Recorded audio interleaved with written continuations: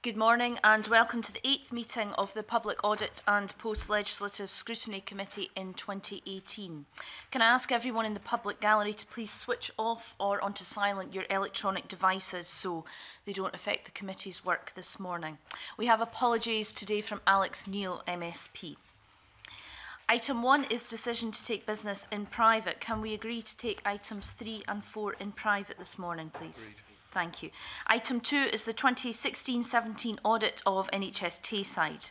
I'd like to welcome our first panel of witnesses today, Professor Sir Lewis Ritchie, Chair of NHS Tayside Assurance and Advisory Group, Caroline Lamb, Chief Executive NHS Education for Scotland and Chair of the NHS Tayside Transformation Support Team, and Alan Gray, Director of Finance, NHS Grampian, who I understand has served on both the Assurance and Advisory Group and the Transformation Support Team.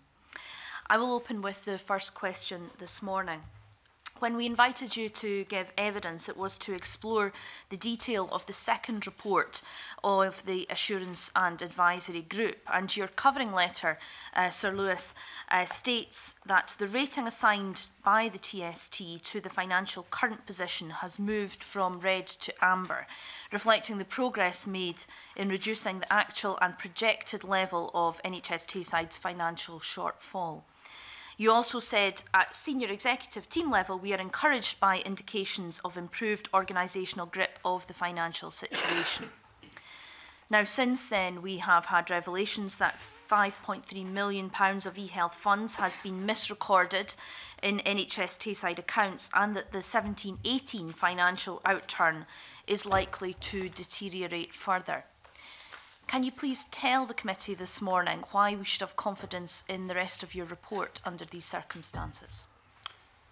Thank you for your invitation to attend here today uh, on behalf of my colleagues and myself.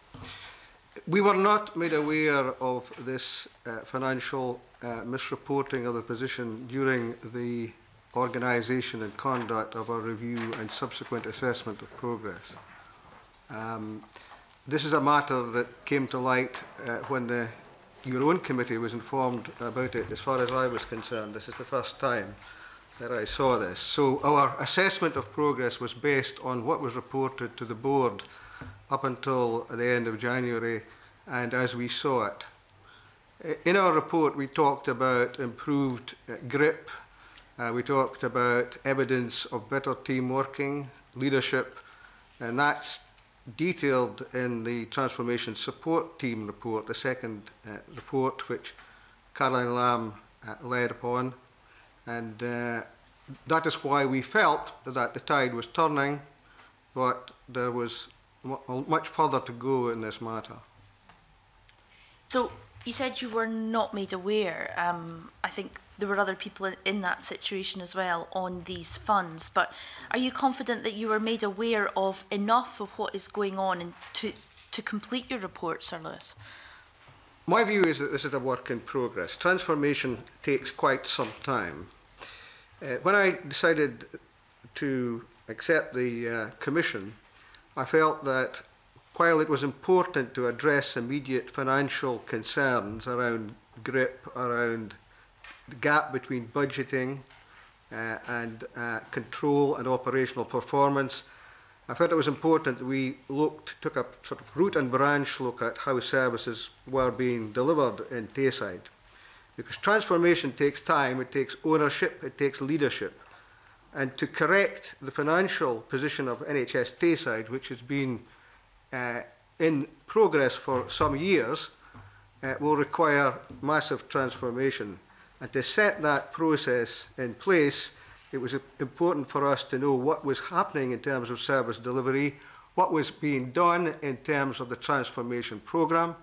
And our report pointed out that there was insufficient grip and insufficient clarity around the details of the transformation programme as it stood, that further external assistance was required, uh, both in terms of financial support, and that's uh, been uh, provided by Mr Alan Gray and others, um, and also in terms of a gap in strategic planning. So in other words, unless these deficits were corrected, then any financial movement in the short term would be rather about transactional change rather than transformational change. And that is what's required and will be required on an ongoing basis to deliver sustainable budgetary financial control in Tayside. Can I ask you, uh, Sir Lewis, you the, the kind of scope and how far into the organisation of NHS Tayside you went? Because any transformational change in any organisation requires um, team leaders on the ground to be bought into the transformational programme and to be delivering it in their own uh, areas. How far did your team go into the organisation, speak to lead clinicians on their specific projects about how transformation was happening? You will see from the annex to my first staging report the number of visits which I made. You know, I set aside all of my, personally, all of my other work for the three-month period that we conducted the initial work for the staging report. And I and my colleagues undertook many site visits we met with many groups, we met with individuals at the coalface, we met with committees, we met with the board, both collectively and individually. I myself met with each executive team member uh, of NHS Tayside as part of our initial fact-finding exercise. Okay, and apart from the management, we can come on to that later, in terms of on the ground, doctors and nurses and the uh, health professionals that you were speaking to? What was the what was the sense of how transformational change could happen if if it was being um, if it was happening, if they were being enabled to make it happen, if it was if it was worthwhile, if it was going to yield results? What was the morale amongst them? My feeling was the, uh, and we stated in our report, that there was a, a sense of lack of buy-in by frontline staff in particular to the transformation uh, program. And the transformation program board, which we visited and witnessed, uh, clearly held much of its business uh, in camera uh, uh, at the outset. So basically, there was a there was a feeling that engagement was not as early as it should be, was not as thorough as it should be. But equally, I spent many hours discussing, along with my colleagues, the need for transformation with, in particular, clinical colleagues, because clinical leadership with support staff behind them is essential for transformation, because transformation is a common endeavor. It's not something you do and you do it once. You have to keep on doing it, and that requires a high degree of ownership across the system. So you got a sense that from some frontline staff there wasn't complete buy-in, but did you get any sense of why that was? I think there's, a, there's a, a misperception that transformation is something that can be done in a short space of time. Uh, there's a misperception uh, that um, what is planned in a boardroom is actually made clear at, at ground level and shared at ground level. Uh, and there's also the issue about when engagement occurs, when should that occur, and we were saying it didn't occur early enough, and that had to change. You think it is changing now? I understand from my observations and, and from the observations of others that that tide is turning.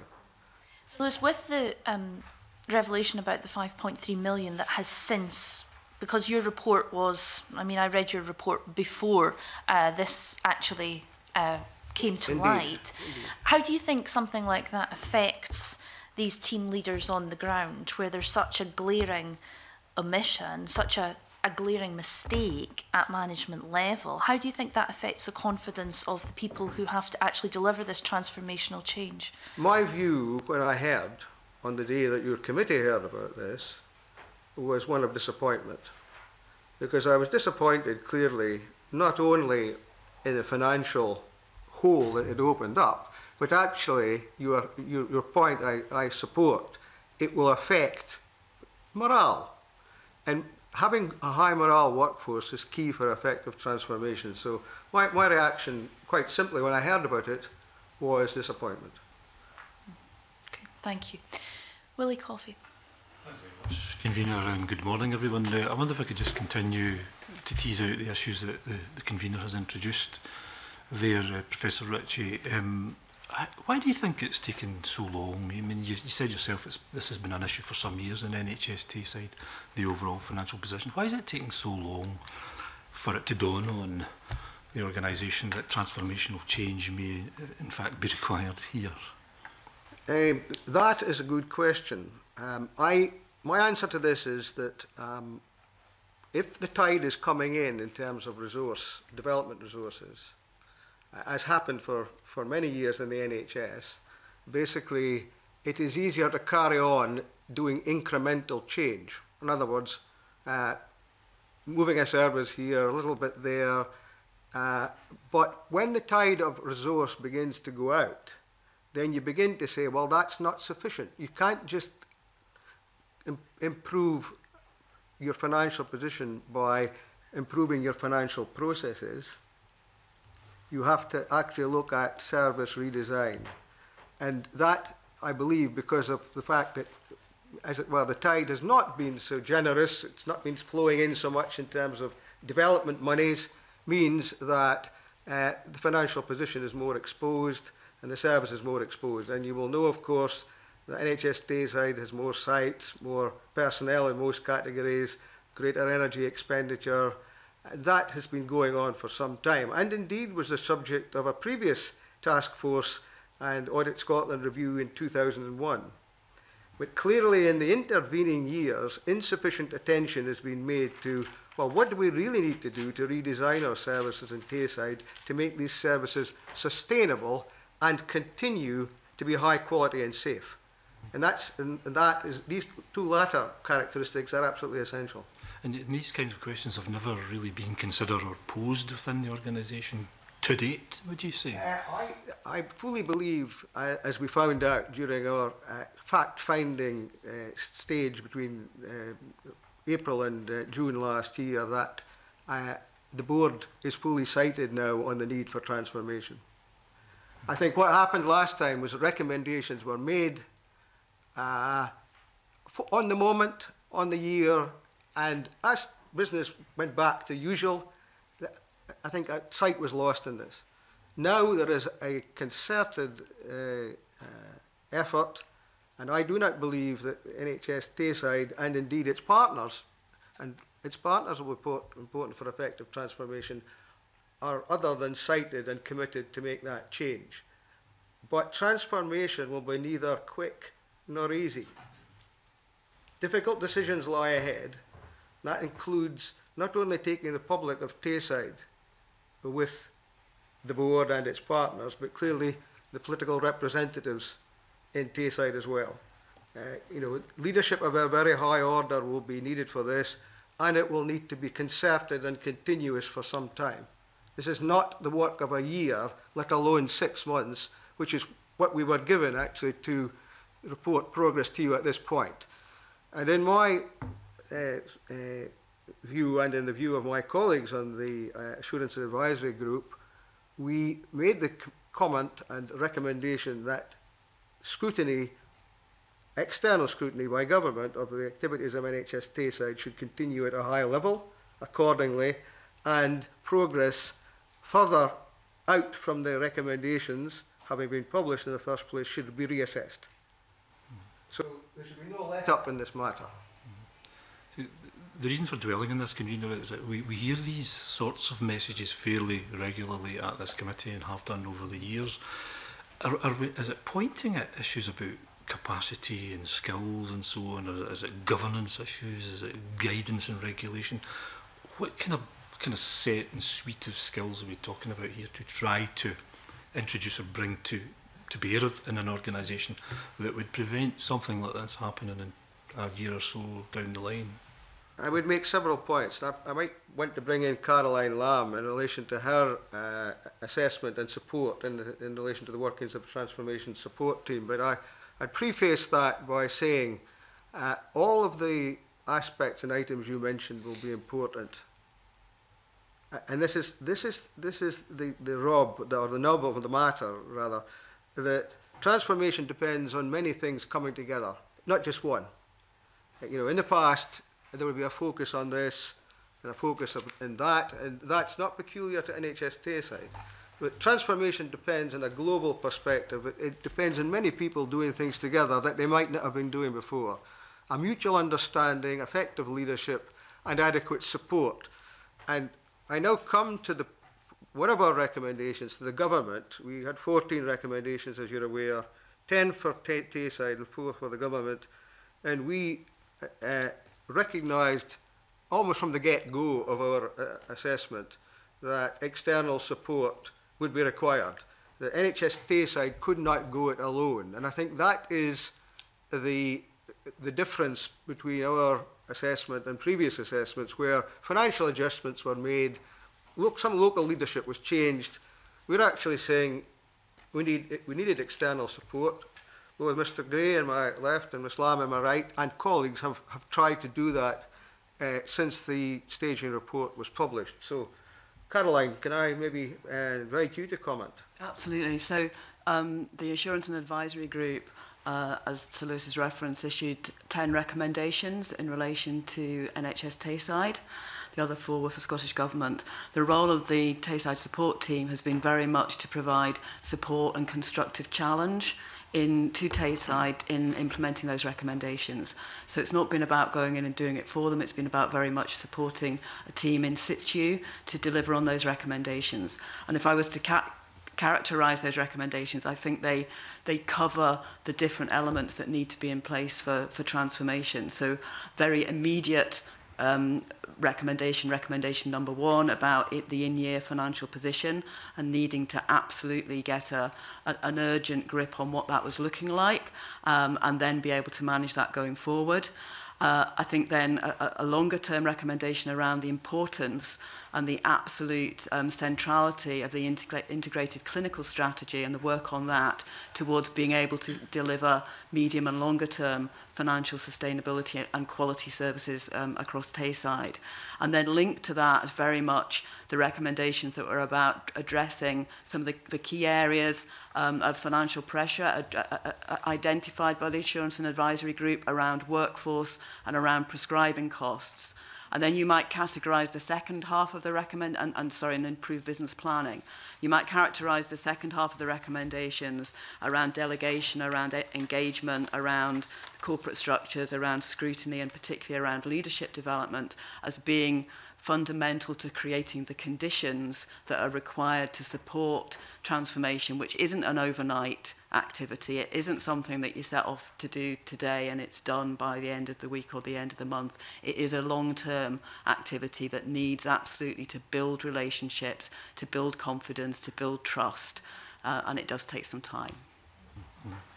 I mean, uh, thank you so much for that. But it would still worry me, I would say, that we've, we've waited perhaps six years or so to start to begin the journey towards real transformational change in NHS Tayside and that. So I, I'm not quite sure how to take what you're saying with some degree of comfort, but I'm certainly assured that we are now thinking along those lines and, and that is our intent and purpose now to, to bring that to bear within the organisation. But very lastly, convener, could you just give us a brief glimpse, a brief practical example of some of the transformational change that you see so that people perhaps watching this can understand that we're just speaking in general terms at the moment, could you give us a practical example of what you see as a, a change that's required in NHS Tayside to bring these changes around? I think it's important to recognise that there has been progress made, and I think it's important to recognise that um, although you know, the, Yeah, yeah, absolutely. So if I just look at the um, improved information and data that the board now have available to them on their workforce, on where their workforce is deployed, that is enabling them, and on, on the improved partnership working around the vacancy management group, that means that both staff side and management are sitting down and actually talking about how to manage the staffing establishment. And that did start to show some evidence of reductions in the requirement for expend on nursing agency staff particularly, which we know is not just expensive but also not the best way of providing services to patients. Now, clearly that's been difficult to sustain during the winter period, but the foundations have been set to continue to deliver that. Thank you. Colin Beattie. Clearly, a key element of uh, this whole transformation is really the bottom line, isn't it? I mean, it's all about uh, bringing Tayside back into some sort of balance. Um, to what extent are you satisfied that the information coming from the finance area, particularly given this revelation, is actually accurate? In terms of what we uh, have been given, um, we have looked at it and uh, with the support of EY initially, we decided to, to uh, uh take a, uh, Public's a dual. yes. A, a, a, now, it used to be known as Ernst Young, it's now called EY. Uh, right. Uh, it, so, so basically, we decided that uh, in order to do the work initially, we had to do this in a parallel way. And so EY, Ernst Young formerly, were commissioned to, to do a, a deep dive on the financial situation in Tayside in relation to their budgets and so on. So we had the benefit when we came to our view in June, uh, not only our own views, but uh, an audit undertaken by EY on our behalf. Was, that commissioned that? It, uh, Scottish Government commissioned it at the outset. How much did that cost? I am not aware of that. I wasn't informed about it. Okay. But I didn't commission it. It was commissioned uh, at the outset by Scottish Government. Alan, can you... Do you it was commissioned by Scottish Government and we used it to rely on that as part of our findings for the, the first report mm. in June, so we didn't commission it. Yes, we can do that. Yeah. yeah, we ask that question. Thanks. Sir Lewis. Yeah, I am always uh, sceptical about what people tell me about finances because I've served in boards for a number of years and it's always good to be uh, sceptical uh, uh, in relation to any response, and in particular in relation to money, uh, and therefore it was important that NHS Tayside received external financial support rapidly. And that support has largely come uh, in the form of uh, input from Alan Gray and my left and colleagues. Alan, of course, is lead financial lead uh, uh, financial director for the north of Scotland and has been helping Tayside directly. And Alan, you may wish to comment yeah, on that. I recognise the point you're making around the clarity of the financial information was presented to the board uh, and to other users within the organisation in terms of managing the budget. So some revisions have been made to that in terms of the financial reporting, so it's clearer in terms of actually what the underlying financial position is and how the overall financial position is managed. Some, some steps have been made to change the quality of the financial reporting that's going to the board. Uh, my colleagues mentioned this side in the second session may wish to talk about what they've done in recent uh, weeks to improve that clarity. We presented that format, revised format back to the board uh, on Monday of this week and I think uh, received very positive feedback. So part of it is actually making sure the users of the information understand the financial position and I think previously we looked at some information that could have been presented in a different way that made it easier for you know, a, non, financial non-financial person to understand the financial position and to be able to ask then questions because part of the role of non executive is to be able to scrutinise and challenge If you're not provided with information, a format that allows you to do that, then that makes that job that much more difficult. So the format of reporting now should make it much easier for non-executive members with no financial background to be able to ask and challenge questions on the financial position of the, of the board. And by scepticism I meant important scrutiny role and challenge role, uh, not uh, an unhealthy scepticism about what, what people are telling me, but actually the fact mm. that you need to look very carefully at the evidence, listen very carefully to what people uh, says, and, and challenge them accordingly. And I mean, that's a process. I mean, clearly you're very reliant on the reliability of the information coming to you. And clearly, from the uh, review that's been done here, there was a lack of control over part of the, the process here. If EY did a deep audit, audit or deep look at the uh, financial situation, how it was being managed and so on. Um, are you surprised that this came to light now and not as part of that uh, audit process? Uh, no, I'm not, um, because a forensic analysis of uh, the financial systems within NHS Tayside was not part of their remit. They were there to look at how Tayside was financing its transformation programme uh, and they reported accordingly. In other words, they did what they were asked to do. So they weren't reporting on actually systems and approvals and all the rest of it? Uh, no, that would be the role of your external auditors. So Audit Scotland, the role as external auditors would be looking at the systems and processes through which the financial information was produced. Uh, Ernst Young's remit was to look at actually the overall financial position, the underlying deficit and the factors contributing towards that. So it was not a financial audit. I think it was when the term in-depth in depth. It was in depth in terms of looking at and, and analysing the drivers for why the financial position was where it was, what the factors contributing towards that. So that was their role.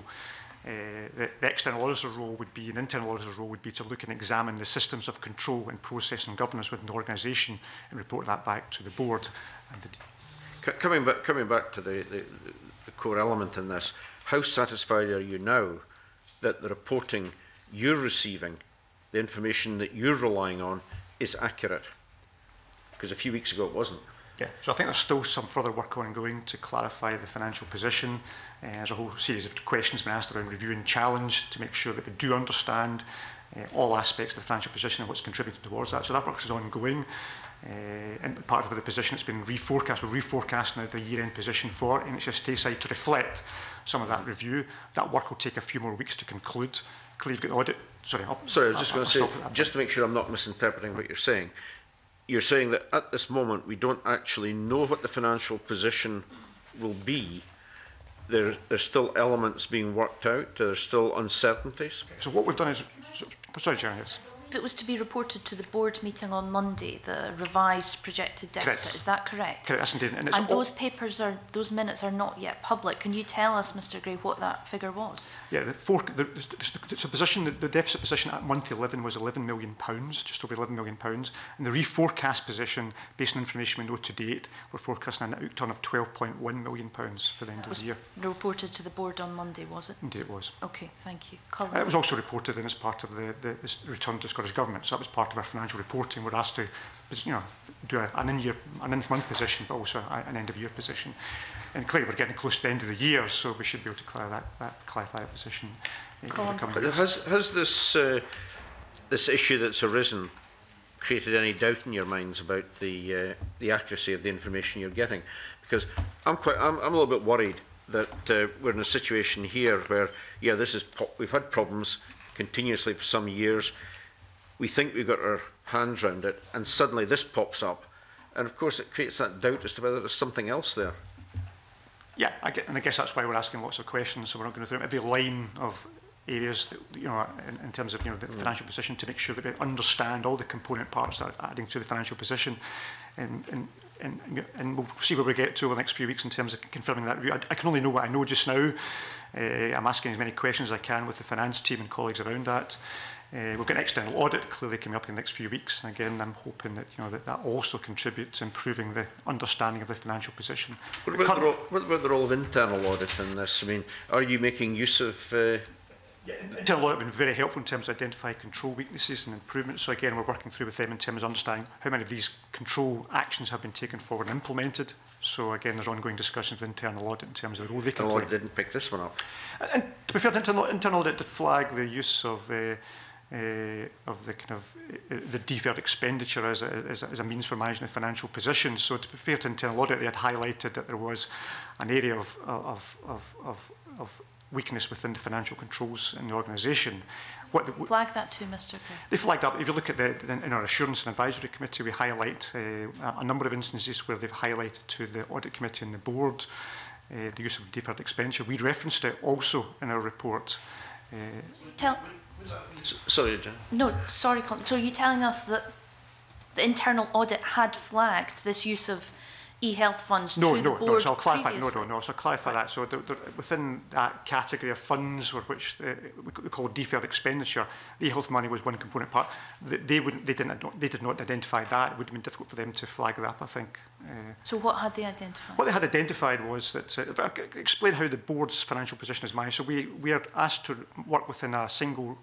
revenue resource limit for, in any financial year.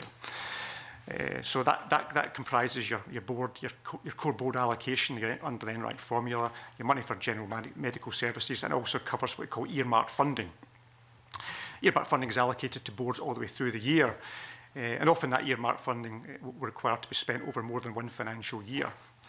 So, uh, so in terms of what, what's been happening on the TAY side is that the, the, the level of earmarked funding that been allocated to the board had not been spent as quickly as it should have been, uh, and it was building up within the financial position. So at the end of last year, there was £23 million pounds of earmarked funding that hadn't been committed in year that would be carried forward into future years. And within that 23 million pounds of allocations, there was the 5.3 million pounds of e-health allocations. Now,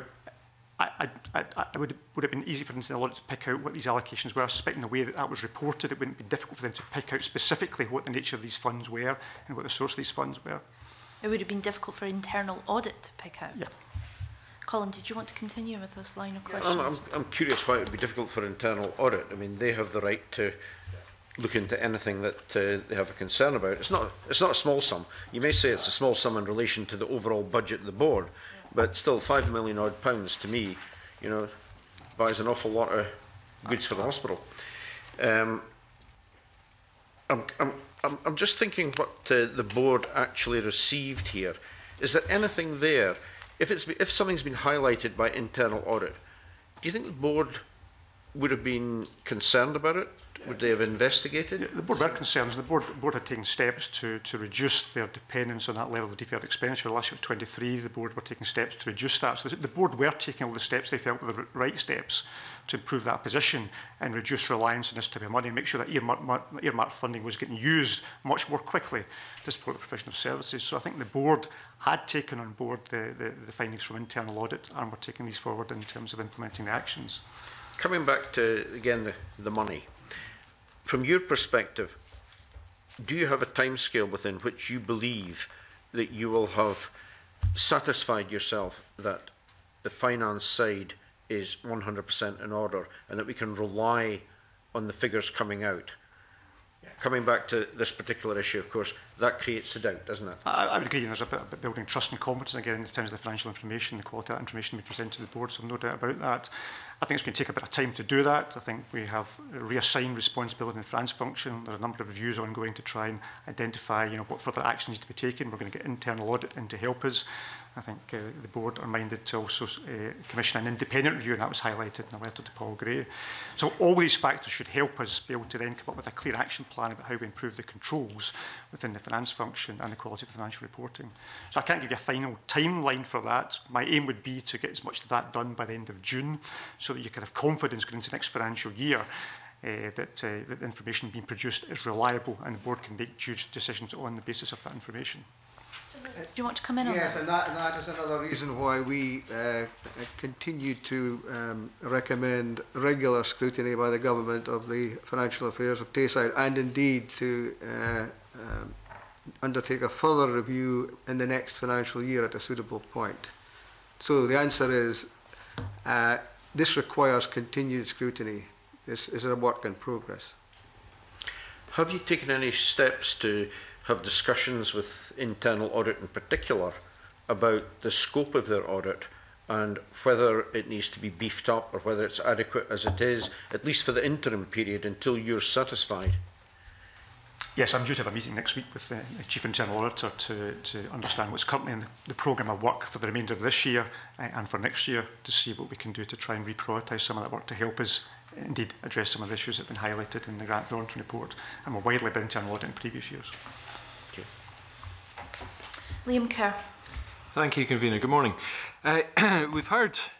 Uh, uh, uh, quite a bit about clarifying the financial position, about reforecasting, uh, requirement of scrutiny uh, into NHS Tayside's financial affairs. Now, in late February, the Director of Finance decided to retire uh, after some 35 years, and this was confirmed, I think there was a letter from Leslie McClay to Paul Gray in which this was referenced in one line. Uh, are you able to tell us why the Director of Finance uh, suddenly disappeared and in what circumstances? Sir Lewis. Uh, uh, the answer to that is no. Uh, I only became aware uh, of the uh, findings uh, of financial misreporting at the same time your committee was. I have been, I certainly have had no part whatsoever to play in the circumstances and indeed any corrective actions following our report which was submitted a month ahead of this particular item coming to the attention of the government and indeed NHS Tyneside. Doesn't that rather concern you? Uh, it, it does, but that is not within my remit. You're asking me, does it concern me? Yes. Is it within our remit? Uh, or was it within our remit? The answer to that is no. And I suspect you may wish to tease this out further in the next session. Uh, uh, forgive me, I've just been uh, kind of blindsided a bit there. You're in there mm. to to look after the transformation, the director of finance, uh, who apparently has presided over a situation that we've explored in some detail, has just disappeared.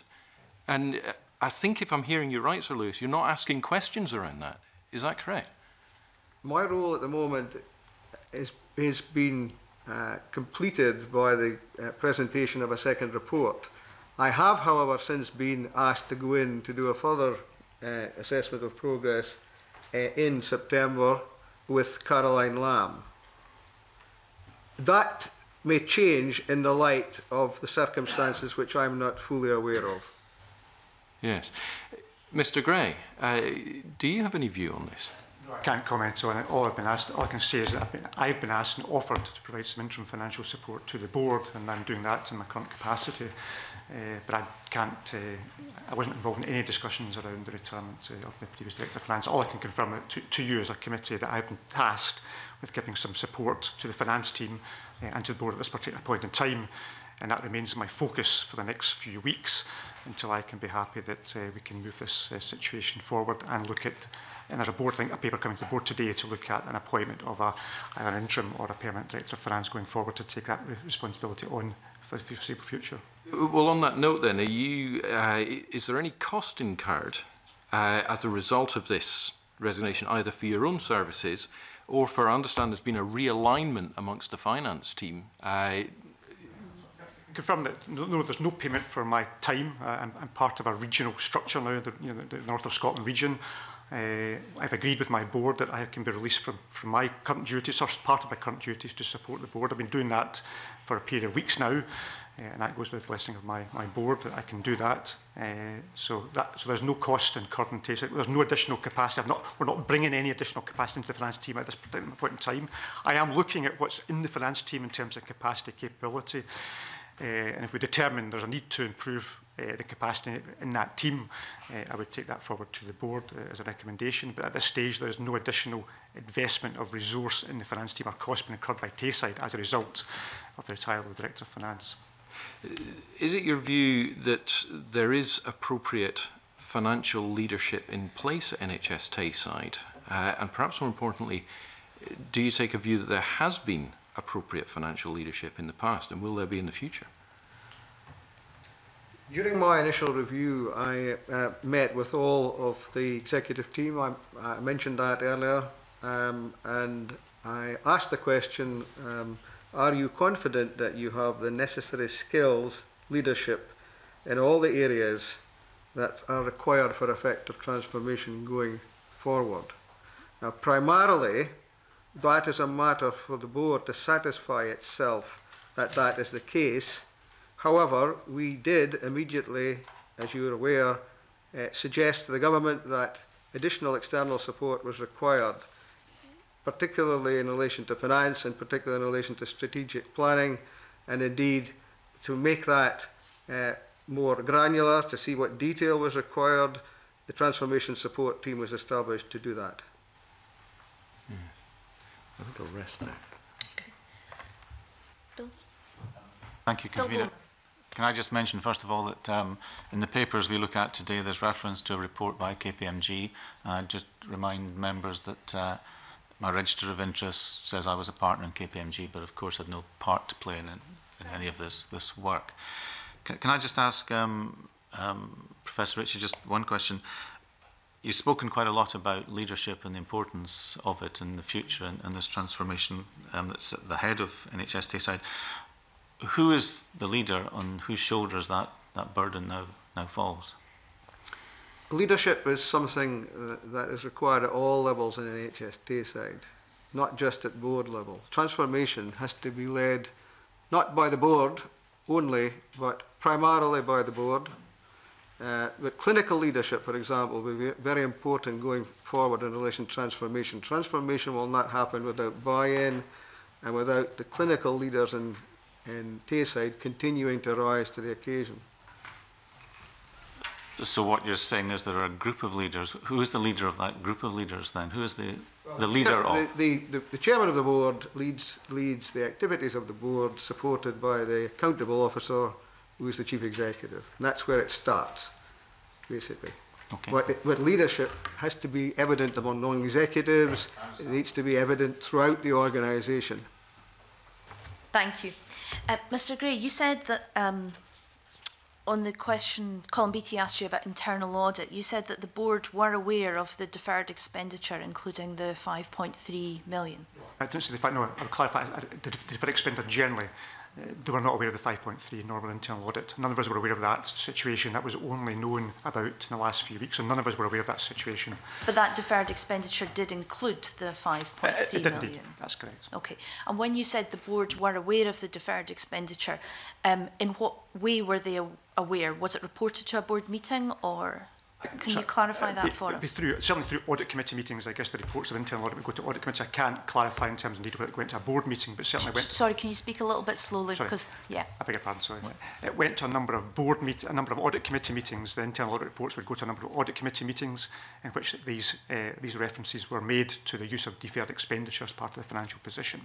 Now, whether that went to a forward board meeting, I can't comment. Uh, but uh, they certainly went to an audit committee meeting and were considered there. They were also referenced in our assurance and advisory report, which did go to the board meeting, and we do make references to the use of deferred expenditure in that report, the report in June of 2017. Ian Gray. I, I, I mean, this is quite puzzling. So that there was a, a sum of deferred expenditure of tw 20, 23 million pounds. And the audit committee and the board were aware of that they had, I think Sir Lewis said, they had expressed a view, or a view had been expressed that some grip had to be taken of that situation. In other words, the failure to spend money and time and therefore the need to defer it had to be improved. That's right. Surely in that process, the audit committee and or the board must have asked, what is this deferred expenditure? What is the activity for which we have allocated funds which are not being spent in year. And if they did that, how can it possibly be that they weren't told that £5.3 million, a quarter of it almost, was the e-health money? That I, I, I can't see how that's possible. So I can't actually comment on what the audit committee may or may not have asked. I wasn't in any audit committee meetings. Uh, I think it's a fair question. Uh, yeah, that's, uh, a reasonable question to ask, yes. I have no doubt about that. Okay, thank you, Mr Gray. Um, Sir Lewis, I'd like to just briefly drill down into one of the specific areas that I'm particularly concerned about and the Auditor General's been particularly concerned about, and that's prescribing yes. in NHS Tayside. It's been identified as one of the key, and for years now, as uh, one of the key things that the, that the board needs to get a grip of. Um, I, you know, I spend uh, all my time in uh, in the locality of NHS Tayside and in Dundee, and I continually hear stories about people you know, their uh, repeat prescriptions not being checked for years and years and stockpiling medicines and all of this. Do you, I mean, I've read your, your, the parts of your report on prescribing. How, to what extent is this actually, um, you know, uh, uh, is going to be solved? You know, when, when is this going to, uh, uh are GPs actually in control of this and also secondary prescribing in hospitals? Do you think sufficient progress is being made? It was identified as recommendation number five. Um, we said that efforts should continue unabated because we recognised that A, there were discrepancies in describing and uh, prescribing across the piece in Tayside and, and Caroline, uh, I perhaps might, might, might bring you in relation to that specific Yeah. Yeah, absolutely. So um, it, it was clearly identified as a recommendation. I think as a support team, we also recognised that within our core membership, we didn't have particularly any expertise in prescribing, um, and therefore we um, engaged with the effective prescribing division at Scottish Government. So Art Mayor and Simon Herding effectively provided us with advice on that and they engage very closely with the Tayside team. So um, I think uh, in our, in our second report, um, we did uh, identify that there were some improvements that had been made in terms, and again, it was down to putting in place processes that would enable improved prescribing practice. One of the things that I think progress had been made on was the number of polypharmacy reviews that had been that had been undertaken. So actually reviewing what medications were being prescribed for people, and that is an ongoing on, ongoing process. We did um, in in um, September we had a rating on that of red um, e, e, e, sorry, and then we, we moved that to amber um, based on the advice that actually that we could start to see some developments. I think it will still be some time before that starts to come through in terms of financial savings. Developments that allowed you to move it from red to amber are these polypharmacy reviews? In, improvements in polypharmacy reviews, improved um, clinical... And for the layman, exactly what that is, just briefly. Yeah, I'll try because I'm not an expert in this area anyway. But, uh, it, but, but I, sorry, that, that concerns me as as well that, I mean, the Auditor General has identified prescribing as a problem in NHS Tayside for years now but there was nobody on the review group with specific expertise in this area and you had to refer back to the Scottish Government on it. And Is that's, that right? But that's exactly what we recognised early on was that we needed, um, from, from the first week, that we, we needed expertise in that and we were able to access that within Scottish Government. So effectively... So Lewis, should you not have had somebody on your team who was able to drill down into this? But Al Altner Mayor and Simon Herding effectively became members of the team and they were part of the... Yes, well, prescribing is a long-standing interest of my own uh, chairman uh, in relation to my clinical practice. And uh, you will see in the first staging report that we actually e extracted a bit of a board uh, minute in relation to prescribing. I also attended during the, the subsequent um, uh, period between September and December a prescribing management board meeting to look at myself and witness the progress. I, am I satisfied with the progress? The answer to that is no. Uh, but it has moved to Amber it, in your staging report. It has moved to Amber on account of processes, in particular reviewing, repeat prescribing. So um, prescribing happens in is two there, ways. Is there any evidence? Is there any evidence that prescribing has reduced? the rate of increase in Tayside prescribing uh, has been less than the, the Scot over the last year has been less than Scotland. So the rate of increase has been less. Okay, well, but there's well, no evidence that it's reduced. I think what Sir Lewis is explaining is that, that um, in general, prescribing has increased over Scotland, over the whole of Scotland sure. over the last year. So and the fact that Tayside has increased no, by less than that, that. Yeah. does indicate yes. that they have made some progress in reducing. Indeed, can I clarify that, uh, yes, Chairman? Please. Yes, uh, uh, in terms of medicines volume, there was a, a, a 0.7% reduction year on year versus a 0.3% increase for Scotland last year.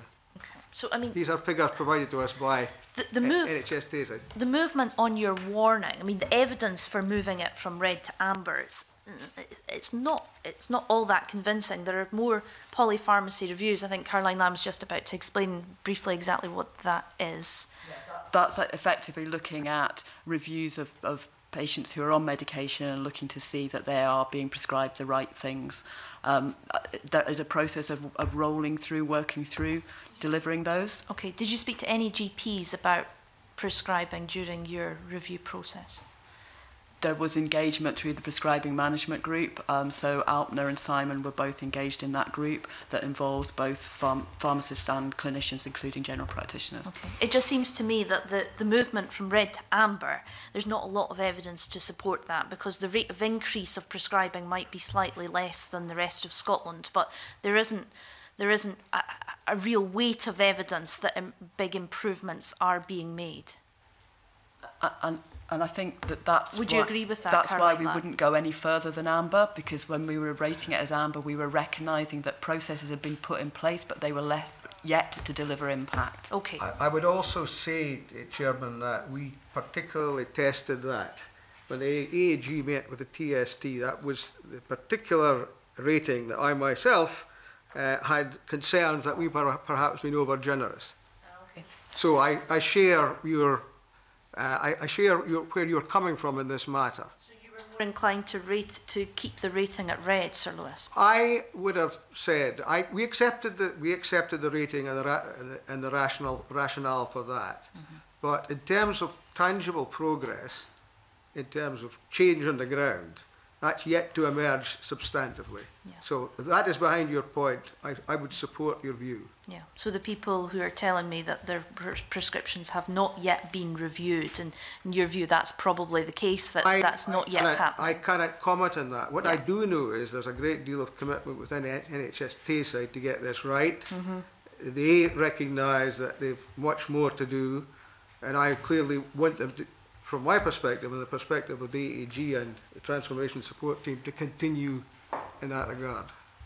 So Lewis, let me ask you, transformational change on this level, I mean, I believe that public uh, services must constantly be reformed and refreshed to, to meet uh, the demands of our of our population, our citizens. Um, have you seen transformational change on this scale that is required by NHS Tayside? Have you seen it happen anywhere else before? I don't just mean in Scotland, but anywhere.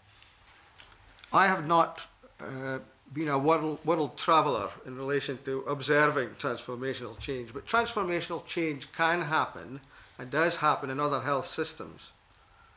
Uh, in Scotland or uh, in, in worldwide in terms of the literature, uh, but transformational change in Scotland is something that I became particularly interested in in relation to my out of hours review, which I led three years ago.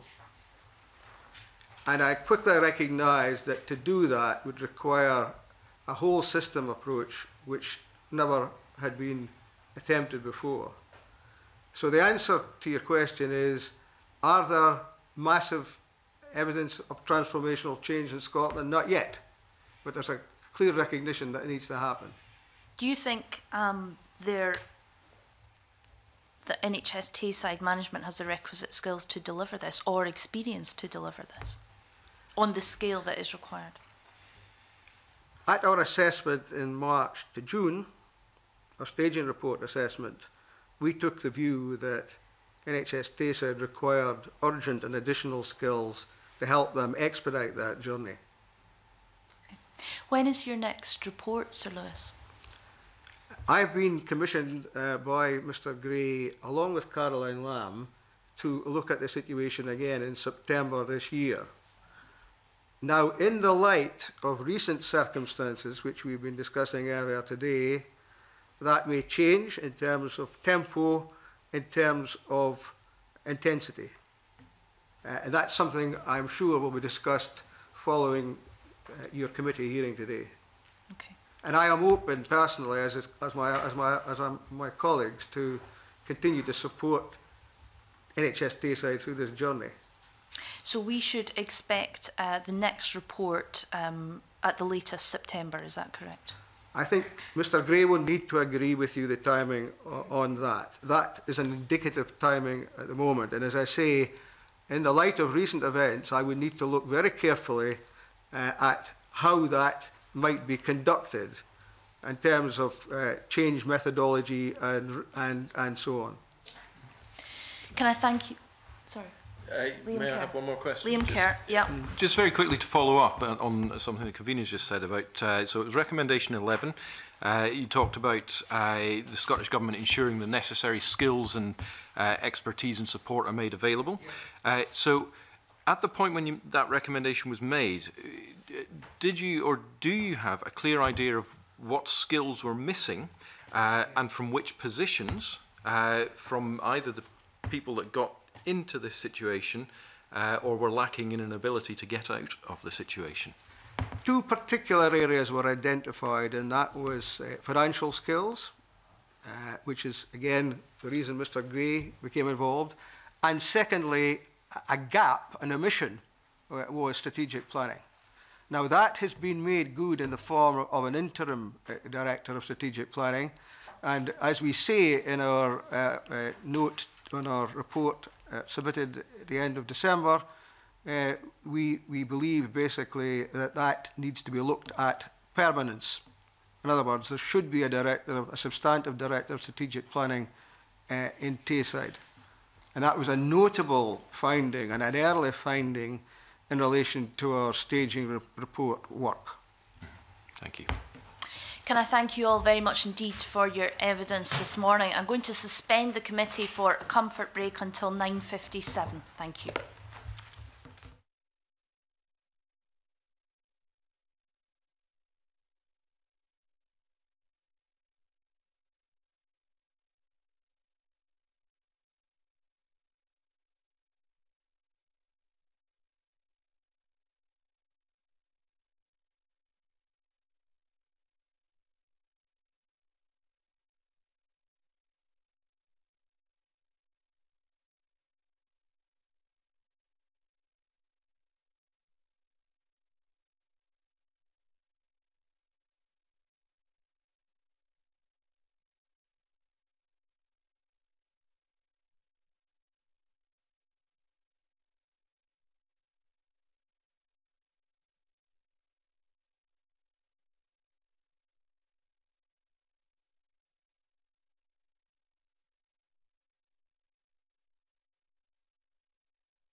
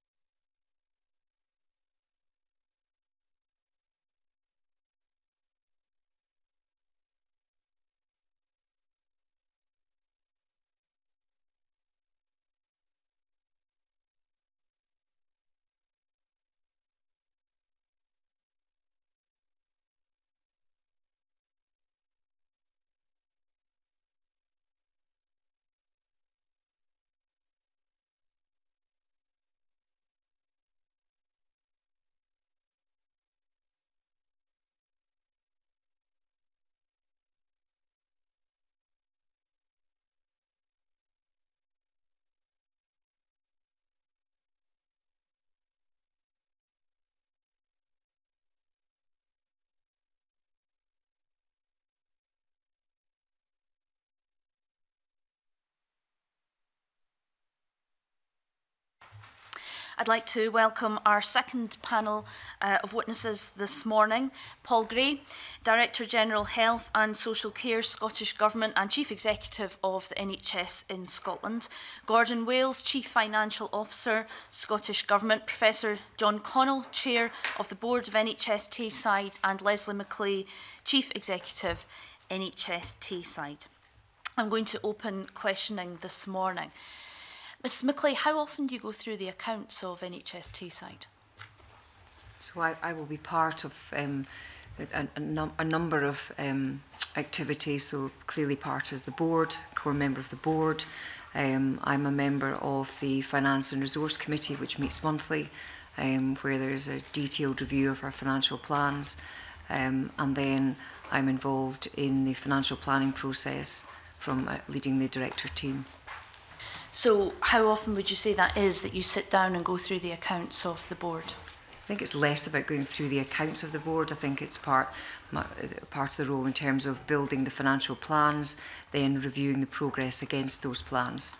So I, I would comment that it is a regular uh, feature in terms of my role, both in a kind of governance point of view at the board and also review process at, at our monthly Finance and Resource Committee you would say you're very familiar with the accounts of NHS Teesside. I think I'm very clear around the progress of the budgets and the, and the overall makeup of the budget, but clearly as Chief Executive I have a Director of Finance, um, just like I have a Medical Director, Nursing Director, and that accountability uh, and professional role is undertaken um, and delegated to them. How often do you sit down with the Director of Finance and ask him about what is in the accounts? So we won't. So I. So in any board and, in, and certainly in, in my board I have um, weekly director meetings which we will look at a range um, of um, aspects in terms of the performance governance of the of the uh, of the board um, and financial reviews certainly are a feature of that um, but I would say the kind of formal review would be happening at our Finance and Resource Committee, which is a subcommittee of our board. And then uh, we have a finance report that goes to the board at every single board meeting. Okay. So we heard from Alan Gray that the board knew about the deferred expenditure. And we know that from the Grant Thornton report uh, that your director of finance, who has since retired, uh, knew about the e-health funds. So did you know? in, in terms of the issue that we were discussing today, I was no, I was not yeah. aware. You weren't aware. No, I wasn't. Okay, but if the board were aware and your director of finance were aware, why weren't you aware? Okay, so I think I think what the the independent review of Grant Thornton indicated within that that um, the board, the director, uh, and executive team were not aware of the e-health allocations that had come in um, what Mr Gray, I believe, was referring to in terms of the board knowledge and my knowledge was the size of the deferred expenditure budget that we had and he made reference to um, the fact that it, it was bigger than um, we would like it to be. Um, so I was aware of the size of the budget. Um, I was also part of the board meeting where we instructed that we wanted a reduction in the size of the deferred budget and that we agreed um, through our audit committee and into the board that we would have a five-year plan to reduce the size of the budget. Aware of the size of the deferred expenditure, the 23 million? Yes, okay. I was. And did you ask what this was made up of? Like, so, I refer you to Ian Gray's question to, to Alan Gray. Yeah, so, so the, the, the finance director produces reports, uh, which he will provide to the finance, to the executive team, to the Finance and Resource Committee and to the board. And the deferred expenditure total was in there, but it was in groupings. So the size of this budget at eh, 22.3 million, there was not a line by line detail of every single item. Did you ask for that? No, I didn't ask for that. No. Why not? Because eh, my finance, in terms of the size and scale of the reports that he would bring it, it wouldn't be appropriate for me to ask for a single line. I mean, our budget for our board is clearly about 800 million, pounds, and I don't have a line by line account. I wouldn't expect to have that. But you're the chief accountable officer for NHS Tayside. You sign off the accounts. Yes, I do. So why would you not ask what this sizable sum includes? Uh, because as the accountable officer, I also have a director of finance that I am relying on in terms of providing the financial information that comes through me and into the board. So you just trust your legal advice, your financial advice, your clinical advice, and don't ask further questions? Of course not. Of course, there is a level of governance and scrutiny that happens within the board and I would conduct as chief executive, but there is also a level of accountability on those individuals to bring the relevant information to identify the risks and raise those through myself and into the committees and into the board. But Ms McLean, I mean, I, I think most people would um, would expect that level of accountability to rest with you. I mean, uh, it strikes me that if you did not ask what that deferred expenditure includes, then you weren't asking the right questions. So as I said, I think the I think from the Grant Thornton report you will see that there were small sums of money. Um, there was a review clearly undertaken. Sorry, what were small sums of money? The allocations as they came into NHS side did not come in in one figure of 2.53 um, or 2.63 million pounds. It didn't come in like that um, when when reading the review, it was clear that those e-health allocations that came into NHS Tayside came in in small amounts. But this has been ongoing for six years. Yes, and that's that's clearly so. The first time I was made aware of this was on reading. Obviously, I was made aware of it, and then the detail of that my first awareness and indeed of the, and the board's awareness was on receiving of the Grant Thornton independent review where clearly it says it has been practiced since 2012. So what questions do you ask? If, if you don't ask what the deferred expenditure includes, if that's not a question you ask of your Director of Finance, what questions do you ask of him? Clearly, I think, I think your question was, do I ask on a line by line? I don't ask for a line by I line. I didn't use the phrase line by line. I think you used that phrase.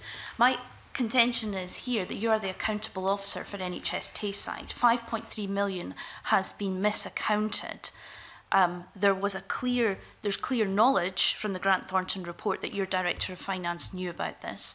We now discover that the board knew about this, but you're telling us today that you didn't know about this and you didn't see fit to ask about so it I, either. I think, so Kavina, I, I think the, um, my understanding from the independent review is that there's a statement that says that the board was not aware neither were the executive team or the leadership team.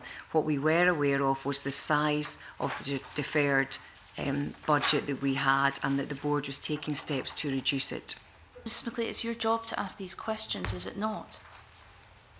So I, think I've described in terms of the process of review that we have, but not that level, that not that single level of detail. It's not your job to ask what the deferred expenditure includes. It's not your job to, to be across the accounts to so, that level. Is that what you're saying? So the Director of Finance produced a level of detail in what was included in the deferred expenditure, and that was in in groups und, under titles of things like earmarked reserves and there would be a figure there. What was not provided was um, a, sing a single uh, levels of detail. However, Mr Gray has um, already indicated that since being aware of this, I, to, I have taken immediate action and we have now changed the level of reporting that will come to the Finance and Resource Committee and will come to the board and that's now with immediate effect. The picture you're giving me is that the Director of Finance presents you with information that he wants you to see and you blithely accept that.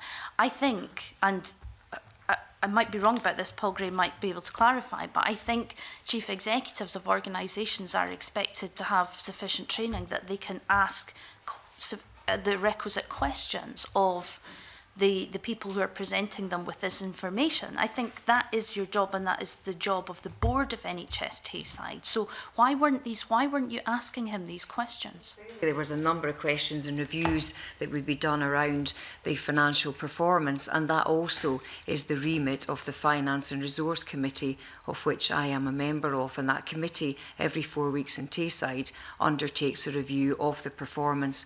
We are also reliant, as committee has already discussed, robust on findings and information coming through audit committee, both from internal auditor and, and clearly external auditors as well. But I would certainly reinforce the level of review that is undertaken by the Finance and Resource Committee. And then there are always detailed finance reports that go to every single board meeting. And pick this up? I, I think the report clearly indicates that it was unlikely um, that, that this would be picked up, and I think that's been reinforced by by Mr Green in terms of his earlier but submission. I, I'm sorry, I, I'm confused. The Director of Finance knew about this. That's Would you agree with that from the Grant Thornton report? That the Director of Finance knew about the 5.3 million? Yes, that's, okay. that's what the report says. And Alan Gray told us that the board knew as well. No, I think Mr Gray said the board knew, knew the size of the deferred, deferred expenditure. expenditure. I think I think the independent the, report. So why so why didn't the board ask what that deferred expenditure included? Would you not expect that level of scrutiny on your well, board? Well, clearly with the information that we have now, then yes, I would agree with that. But there was it was the level of reporting on how that deferred expenditure was made up clearly did not give sufficient detail for those questions to be asked. Why didn't you ask? because I, there, was, there was never any risk identified to me or to the board in relate. There was a risk in terms of the size of it, but not in terms of what it was made up. And, and you're relying on internal audit to review your allocations that are coming in, and there was never any risk identified that there were inappropriate allocations coming into our board. That was never a risk that was identified. Ian Gray. But the thing, surely, that we can't understand here is that the board knew of the 23 million pound deferred expenditure. And I think he said the board agreed measures to reduce that. Yes. But how could they agree measures to reduce that without knowing what activity it was which led to the deferred expenditure? I, I, I mean, that, that's, that's the question you saw me put to, to Mr Gray. I, I cannot understand. So how can the board have satisfied themselves that measures were being taken to reduce the level of deferred expenditure without knowing what the activity was which had led to the deferred expenditure? I think neither myself or the convener can see how that's sure. that's possible. You would have to know what is being going to be done differently, and to do that, you would have to know what the activity was, which had not taken place in the year that led to the deferred expenditure. And therefore, you would need to know a, a breakdown, line by line or whatever, of, of what that deferred expenditure was. So, so I agree with you with, with the now with the level of information that we have, but all I can say to you is that there was never any risk identified in terms of um, what those allocations were. The size was there. But a risk was identified in terms of the size of deferred expenditure. It, yes, it was. An it action was. was. agreed, yes, except action, yeah. that the board then didn't know what that action actually was. So, so they the, couldn't the, have. So the, the internal audit recommendation was to reduce it. That was what their ah. recommendation uh -huh. was. And the board then instructed, through the Director of Finance, to start to reduce the so, level of reliance so the board were in a position where the internal auditor had recommended a reduction but the board and the board agreed that but I had no idea then how that reduction would be achieved. So the reduction could have been achieved by taking the money out in notes and setting fire to it, and that would have been fine. The board, that would have met what the board had agreed. Is that right? No, clearly that wouldn't have been acceptable. Well, well, but they wouldn't have known. It, it, it, that's the point. If they didn't look at what was in the deferred expenditure, they could not have known what the measures would be.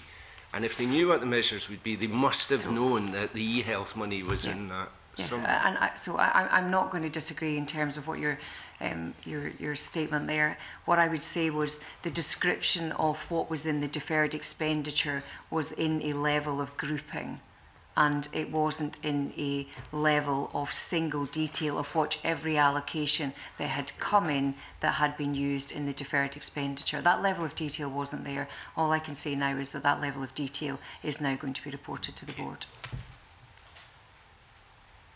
But Ms McLeod, if you're leading this level of transformational change, you just clarified that the board didn't ask these questions. How can you you must be across all the change that is happening in NHS Tayside. So if the board is agreeing change to happen under these groupings, you must have known what that change was. So as Chief Executive, you're absolutely correct. My responsibility is to lead and oversee the transformational change within HST site.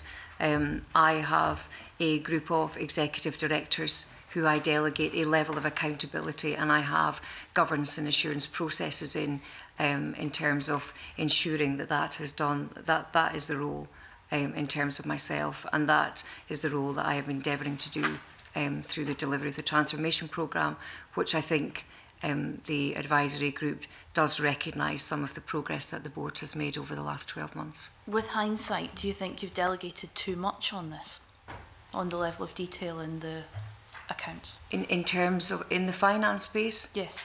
So there isn't anybody more disappointed to be here in front of the committee on this issue. Um, there is a level of accountability. Clearly, I am, I am the chief accountable officer, but I also delegate, and I and there is a level that you have to trust. And uh, um, if there is nothing coming through an assurance process of risk, then you have to trust that accountability to be delegated effectively and you are reliant on individuals and their professional accountability as well. Do you feel that with hindsight you did ask the appropriate questions of the Director of Finance? So I, I, I think um, clearly we have taken further action but um, I have to go back to what the Grant Thornton report said and they said Clearly, there were failings on governance across three parties. But I think what's important is that the independent review said that they believed there was nowhere, no awareness um, by the board, by the executive team, and that it was unlikely due to the nature of the transactions that we would have been aware. Do you feel you have um, sufficient experience on the board? Because if you weren't asking these questions and the board weren't asking these questions, is there sufficient financial experience on the board of NHS Tayside to actually take this transformational programme forward? Yes, I believe there is, and, and I think there is a there's there's clearly more detailed reporting that we have to do, but but I think there is um, the skill and capability in terms of board members. Are there any accountants on the board? Yes. yes. Professor per Collins. Perhaps I could contribute here, yeah. Ms. Mara. Uh, firstly, can I confirm, as Leslie McClay has done, extreme disappointment and um, a sense that we would uh, feel we have been let down and we have let down the committee by this uh, occurrence with the Grant Thornton findings. But yes, the board does have financial expertise. The chair of our Finance and Resources Committee, which is now our Performance and Resources Committee, is Mr Douglas Cross, a qualified accountant that's in a long-term and distinguished career with Police Scotland as an accountant. We also, as chair of our Audit Committee, have Mr Stephen Hay, who's a, an investment banker. So between the two of them, we actually have a significant uh, input into our financial management and audit. Thank so you. I believe the board does have that level of expertise. If I can maybe just clarify uh, what you were alluding to, the board, uh, as Ms McLeay has said, did not have awareness of the 5.3 million within the deferred expenditure. What the board was aware of, as you have been told by Mr Gray, was that the level of deferred expenditure was higher than it should be. All NHS boards have a level of deferred expenditure. It's the nature of the way NHS finances work year on year. So deferred expenditure in itself is not unusual or necessarily inappropriate. What was unusual was the reliance that NHS Tayside had on deferred expenditure within its accounting system. Within the detail of the deferred expenditure, the e-health monies which were totally inappropriately within the NHS accounting system were broken down into smaller items. So they were not bundled up as a 5.3 million chunk. They were bundled up into smaller levels which actually were probably below, below the value at which one would normally expect a board to be told about transactions, all under £1 million.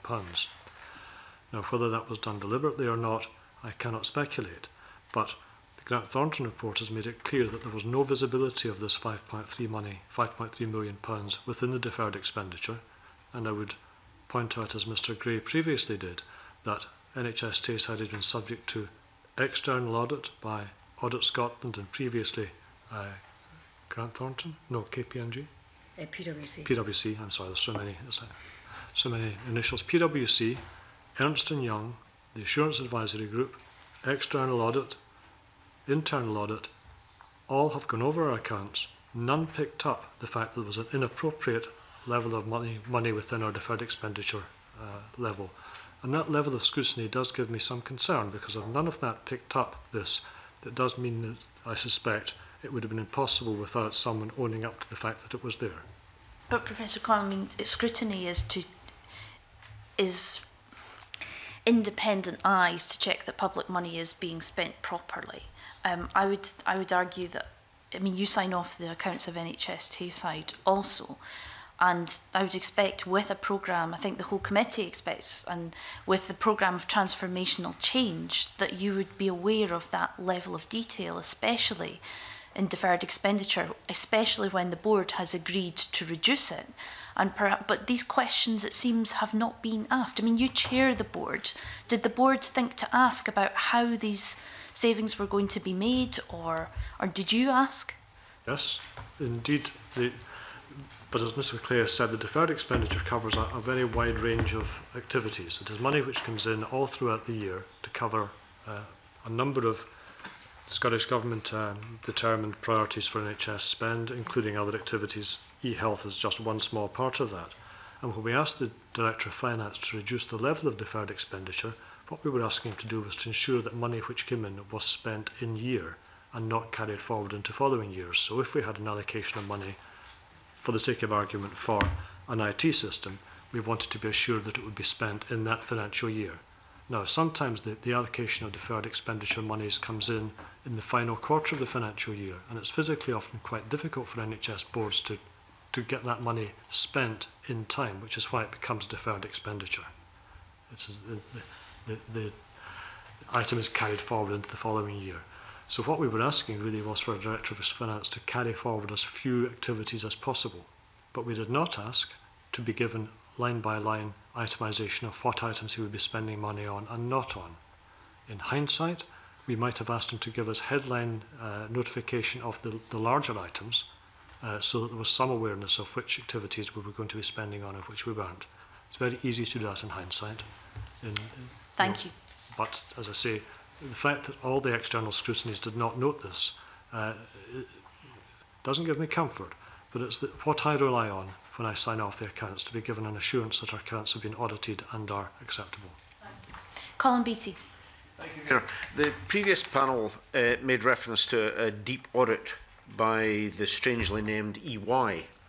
Um, who commissioned that? EY is Ernst and Young that's, that, that's what they would be referring to. So that was commissioned by us as part of the um, run into the assurance advisory group work. How much did it cost?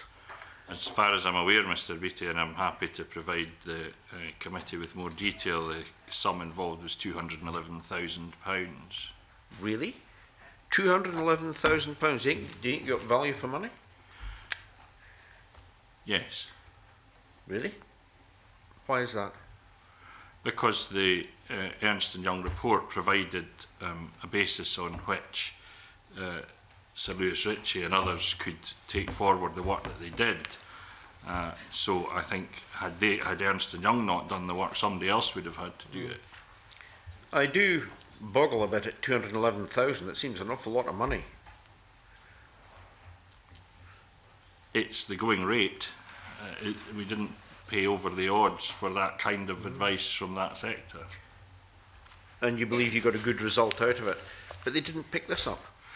It's a, if it's a deep audit, surely they would look at all the processes and every element of it. And for 211,000, I would expect it to be forensic. Well, mm, a forensic audit would be a, would be a different thing, and we didn't commission a forensic audit. I suppose, Mr Beattie, I, I do not wish to present to the committee some analysis that says this is a good situation. It is not. It is something uh, about which I think, I mean, to call it disappointed would be putting it mildly.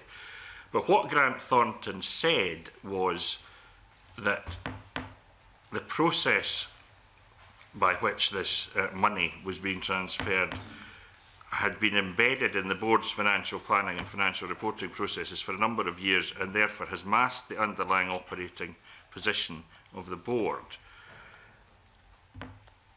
They then refer to the, the, lack of challenge by the board, which we've just spoken about, and they say this we think is due to the lack of reporting of the transactions, as the knowledge of these transactions seems to be contained to the NHS Tayside Director of Finance, NHS, NSSE Health and eHealth Leads Group.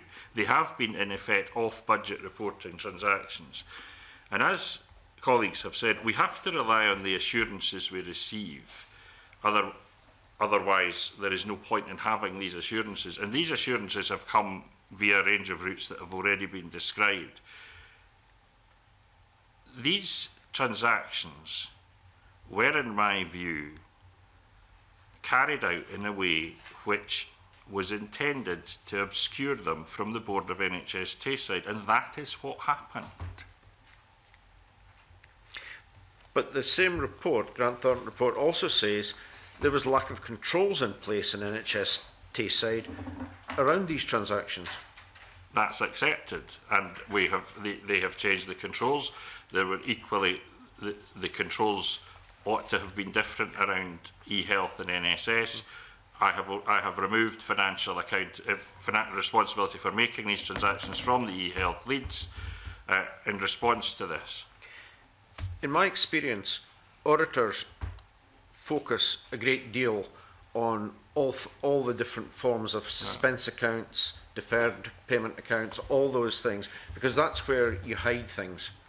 So auditors focus on these. Now, we're told we've had PwC, we've had Ernst Young, we've had goodness knows who all involved in this at whatever cost, and yet they still don't pick up this basic element.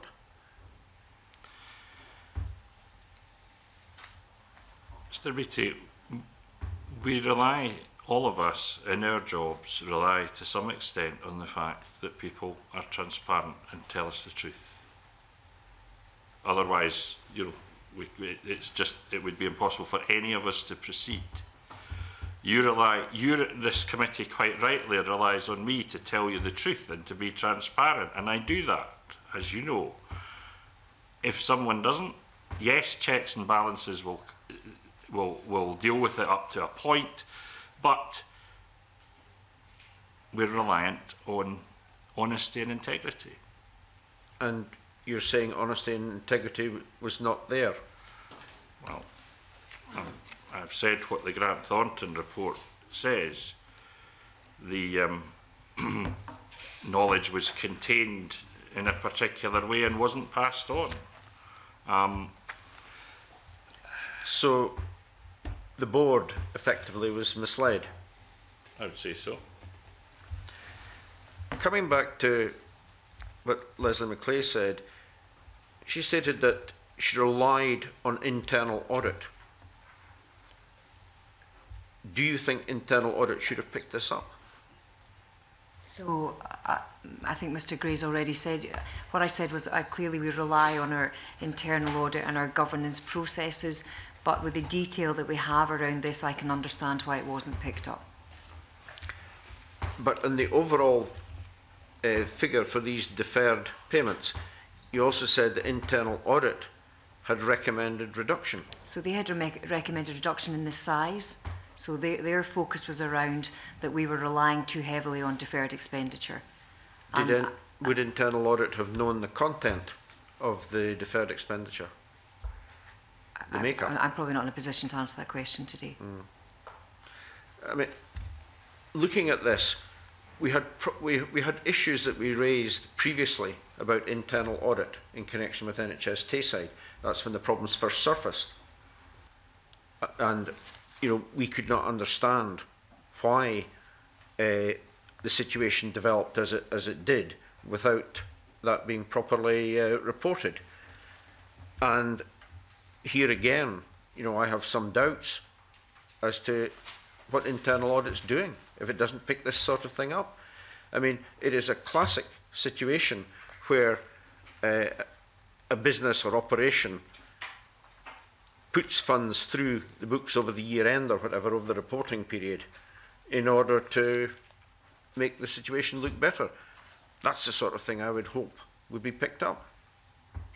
Con, can I interrupt you there one moment on the general internal audit point and bring in Ian Gray. So I to follow up, uh, Mr Gray, on the point you were making is that your view in the Grant Thornton report indicates that the um, the, the sum was accounted for in a way to hide what was happening from the board. Um, in the Grant Thornton report, it says the email trail appears to indicate that the Director of Finance at NHS Tayside was planning on using the e-health money as part of their overall income that year and that the Director of Finance at NSS was aware of the situation. So is it the case then that the Director of Finance at NSS was part of that knowledge which was hidden as well? It's possible and NSS are conducting an internal investigation. Colin. So again, that brings a question in about NS, NSS internal audit. Did they fail to pick this up at their end? So, Mr Beattie, we're straying into areas which are out at the very limits of my technical competence, but I'll, I will try to answer your question as best I can, and it may be that, that, that Mr Wales can assist. The The distinction I make between NSS and NHS Tayside is this. NHS Tayside's NGR accounts, if I'm, and forgive me if I don't use exactly the right technical words here, represent that would have represented them as having 5.3 million pounds available to spend, which in fact they didn't because they were going to have to give it back. So, so in other words, the, the, the, the position looked 5.3 million better, or would have had we not intervened, would have looked 5.3 million better than it should have done. So that's, that's Tayside.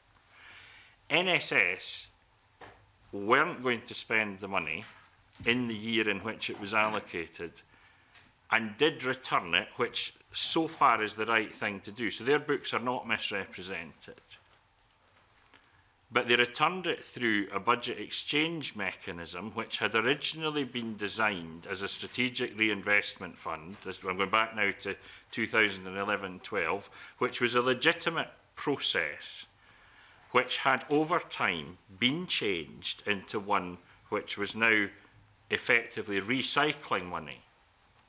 So something that started as a process whereby if you had not spent all the expenditure that you had intended to, you then made that available for reinvestment. That's entirely legitimate. Where it strayed from legitimate was when that money began to be used as a recycling mechanism, which should not have happened. And that's what we've put a stop to. But there are still questions, both with NHS Tayside and with NSS because the report, Grant Thornton report, says and talks about inconsistencies and quality issues in connection with NSS, uh, challenges that were out of the normal and should have been challenged and raised at NSS.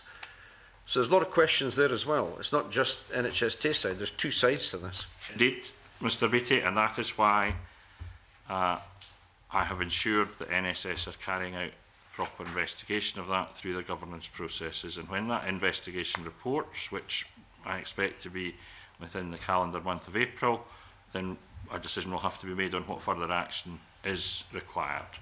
But I don't, uh, you know, you'll appreciate, I don't want to preempt the outcome of that. Just one last question on this.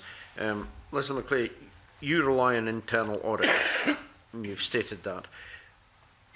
Are you satisfied that the scope of internal audit as it stands gives you the reassurance that you require on the financial situation of Tayside. So in light of the situation that we now yeah. have, and I think Mr Alan Gray made reference to that, we are revisiting that um, with the information and evidence we now have to make sure that any risk, that if there is any risk there, then it will be covered uh, in our 18-19 audit plan. So that's been part of the immediate action that I've taken would you expect board members to ask questions around deferred expenditure? In general, yes. And why do you think that hasn't happened at NHS Tayside? Well, I think it has, but I think the detail was obscured from the board, and I think that the board has acted reasonably once the detail became available to it. You said you think you think it has, but I think we've already heard this morning that the board weren't asking these questions, although they had the information presented. It was presented in quite general terms and the questions weren't asked. Would you not expect your health boards around Scotland to be asking these questions? I expect them. To, I expect health boards to act reasonably. And what I mean by that, because I, I'm, I, your question is a fair one, is they have to scrutinise what they have before them in, in a way which probes the detail. However, if some of that detail is obscured, then I think it's asking a lot for people to notice something that they can't see. Is it a reasonable expectation that the chief executive would ask for that level of detail? Well, I'm running this through the lens of what I would do. and I find it, I genuinely find it difficult to know how I would have done something different if it was presented to me that there is a, a packet of expenditure, deferred expenditure of 23 million, if the components appear reasonable and there has been a process by which it has been allocated, it is entirely possible to speculate about what one might have done with different knowledge, but I think what NHS Tayside did with the knowledge it had, and I'm speaking about the board, was reasonable. Whether the internal controls were strong enough, it's already been accepted that there'll have to be a review of internal audit. But, I, but how could you agree to take action to reduce deferred expenditure when you didn't know what it was? Because that's, that's effectively what we've been told that the Chief Executive, the Chair and the Board did. Yes, and you can take action, and the action can be reasonable and proportionate. And if the components look reasonable, then the action you take will look reasonable. So you're satisfied that on one of your health boards in Scotland, the management team and the board aren't asking these questions to the extent that we now have 5.3 million pounds just misaccounted for. I'm You're not, happy with that situation? No, Miss Mara, I didn't say I was happy. I think we've all said we're very unhappy. But what I am saying is... But you're satisfied that that situation can be allowed to continue? No, we've stopped it. But it's been going on for six years. Through a process that was, as I've explained to Mr Beattie, originally designed for something else and was changed over time, which should not have happened, We've taken away the response, the authority from the e-health lead so that it can't happen again. But I am in genuine difficulty to see what a person can do when they're presented with information that is designed to give them one impression when in fact the facts are different. But Mr Gray, we're not just talking about um, you know, you have politicians or, you know, the man in the street. We're talking about chief executives who are highly trained, highly effectors, lead, leaders, strategic leaders with forensic abilities, but you wouldn't expect the board members or the management to ask these questions.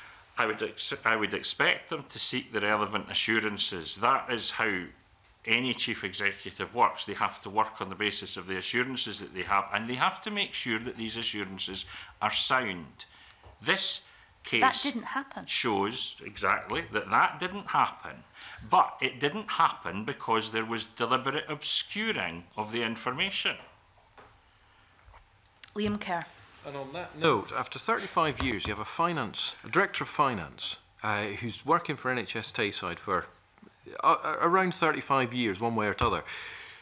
He's deliberately obscuring information, uh, walks in and retires without notice and uh, any uh, forewarning. Uh, is that really the situation? That wasn't quite exactly how it happened. Okay. Um, so Um, if, if I may, I'll just briefly tell you in terms of the process. So when I was alerted to the, the, that there was a situation regarding our year end, and that's how it was presented to me, um, on my assessment of that, my immediate action was that I needed to undertake an internal uh, review and investigation uh, into the governance. Um, I also wanted to quickly understand what this was going to mean for the 17-18 position in terms of the board and obviously going forward the 18-19.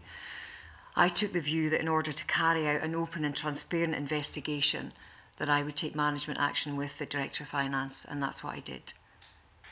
Uh, and so at what point does that management action, which I assume is management speak for disciplinary action? No, no. Go on. No, so it wasn't. So, so I took the action to suspend the Director of Finance. And that suspension was done, which is available for me to do that in such circumstances. That was taken as a neutral act, and that was to allow to it was allow it was to allow me to ensure that I had an open and transparent investigation it was to protect the board and it also was to protect the individual so my immediate action clearly you, wouldn't go into any you can only go into a disciplinary situation once you've got evidence and facts that there has been some misdoings or wrongs and clearly you would take action thereafter but the immediate action for me was to investigate the issue and so I carried out a suspension of the individual. But at that point, uh, the individual turns round and no, says, actually... No, he didn't. So, so how did that turn into a retirement? Um, so anyone who's part of the NHS um, pension scheme can make the decision to retire before the age of 60, and that is open to individuals. Um, the suspension was enacted on the individual and um, I and also it's probably important to say that I took senior HR advice in relation to the situation that had presented to me made that decision um, and then started the internal investigation. Um, that was on well that was retired. on Mon- that was on Monday the 26th of February that yes. that occurred and um, through uh, his, the trade union representative um, there was an indication to the HR person who was leading the investigation for me in terms of that part of it um, we were given intention that he wanted to retire and so that was accepted I mean, Well, the, the, the, you don't accept it. He just retires. He says, we, we, I'm, I'm, I'm, not in a position to. It's, it's, um, I don't have a remit to be able to approve that. If somebody makes the decision to retire with immediate effect, then that isn't a decision that I can either prevent happening. I understand. And what payments would have been made uh, at the point of retirement? Yes. So, so, so that the, the individual and any individual who took that decision, they, it would just be what their entitlement was, and their entitlement is payment in terms of their notice period and any annual leave that they were due. They, and anyone who takes early retirement, I think committee members will be aware, then has a reduction um, on their pension and their lump sum. So um, that's, that, that is adjusted if they're taking early retirement. So just to be clear, there was a lump sum payment made, uh, a payment in lieu of notice. No, So, sorry, what I'm saying is, so it, it was the normal entitlement of any individual in the NHS was um, um, provided for uh, this individual we're talking about. Yes, I, I appreciate that, but just to be clear, so there would have been a payment in lieu of notice, uh, which after 35 years would be a three, three months? Month, three months, yeah. Right. Uh, was uh, the Director of Finance professionally qualified and regulated by anybody, do you know? Um, yes, he was. Um, and apologies, I probably for, I've forgotten the name of that body, but but I I, I have. I, I can tell you. Oh, CIME. I, e. now we've talked, we've heard there about, uh, I think you said honesty and integrity was not there. We've heard of misreporting. Uh, I think I may be paraphrasing Mr. Gray, but uh, that the information was willfully excluded from the board. Uh, has a notification been made to the regulatory body, Mr. Gray? The answer to the question is no, but that is because we uh, contacted the regulatory body to establish that they were already in possession of the facts, so they were. So reporting it twice would have served no purpose. I understand. So, but something is being done by the regulatory body, to the best of your knowledge. That is correct. Uh, because uh, Leslie McClay, you talked earlier about a level of accountability. Yes. Uh, in what way are you aware that the former director of finance being, is being held accountable? Are you aware of the Director of Finance being held accountable in any way? I'm certainly, I'm certainly in discussion with Scottish Government, government colleagues. I was aware that there was an engagement with his professional body. Mr Gray, um, just moving, moving away from that slightly, if I may, was the Scottish Government wise to entrust millions of pounds a year to a group which Grant Thornton concludes were not financially aware? This is the eHealth Leads. Mm. In retrospect, no. So what's the government going to do with that knowledge going forward? Well, we've removed um, delegated authority to commit expenditure. Mm -hmm. Why did the transfer request made by NSS not raise any concerns within the Scottish Government Health and Social Care Directorate? Because it was seen to be part of a process that had existed since 2011 and there was uh, a, failure to detect the fact that its purpose was changing. Mm -hmm. uh, but leading on from that, the Cabinet Secretary for Health leads the Health Directorate, which in turn is responsible for the e-health strategy board, and yet no one from the Cabinet Secretary downwards at any point said, this looks amiss or raised any red flag? Does that concern you at all? I, I have thought quite hard about that, Mr. Kerr. Um, if you think of the situation where you have a group of e-health leads whose responsibility is in relation to digital and in relation to project and program management. Mm. And there is a process for a strategic reinvestment fund and they are being they're using it in a way that appears to them to be reasonable. Mm -hmm.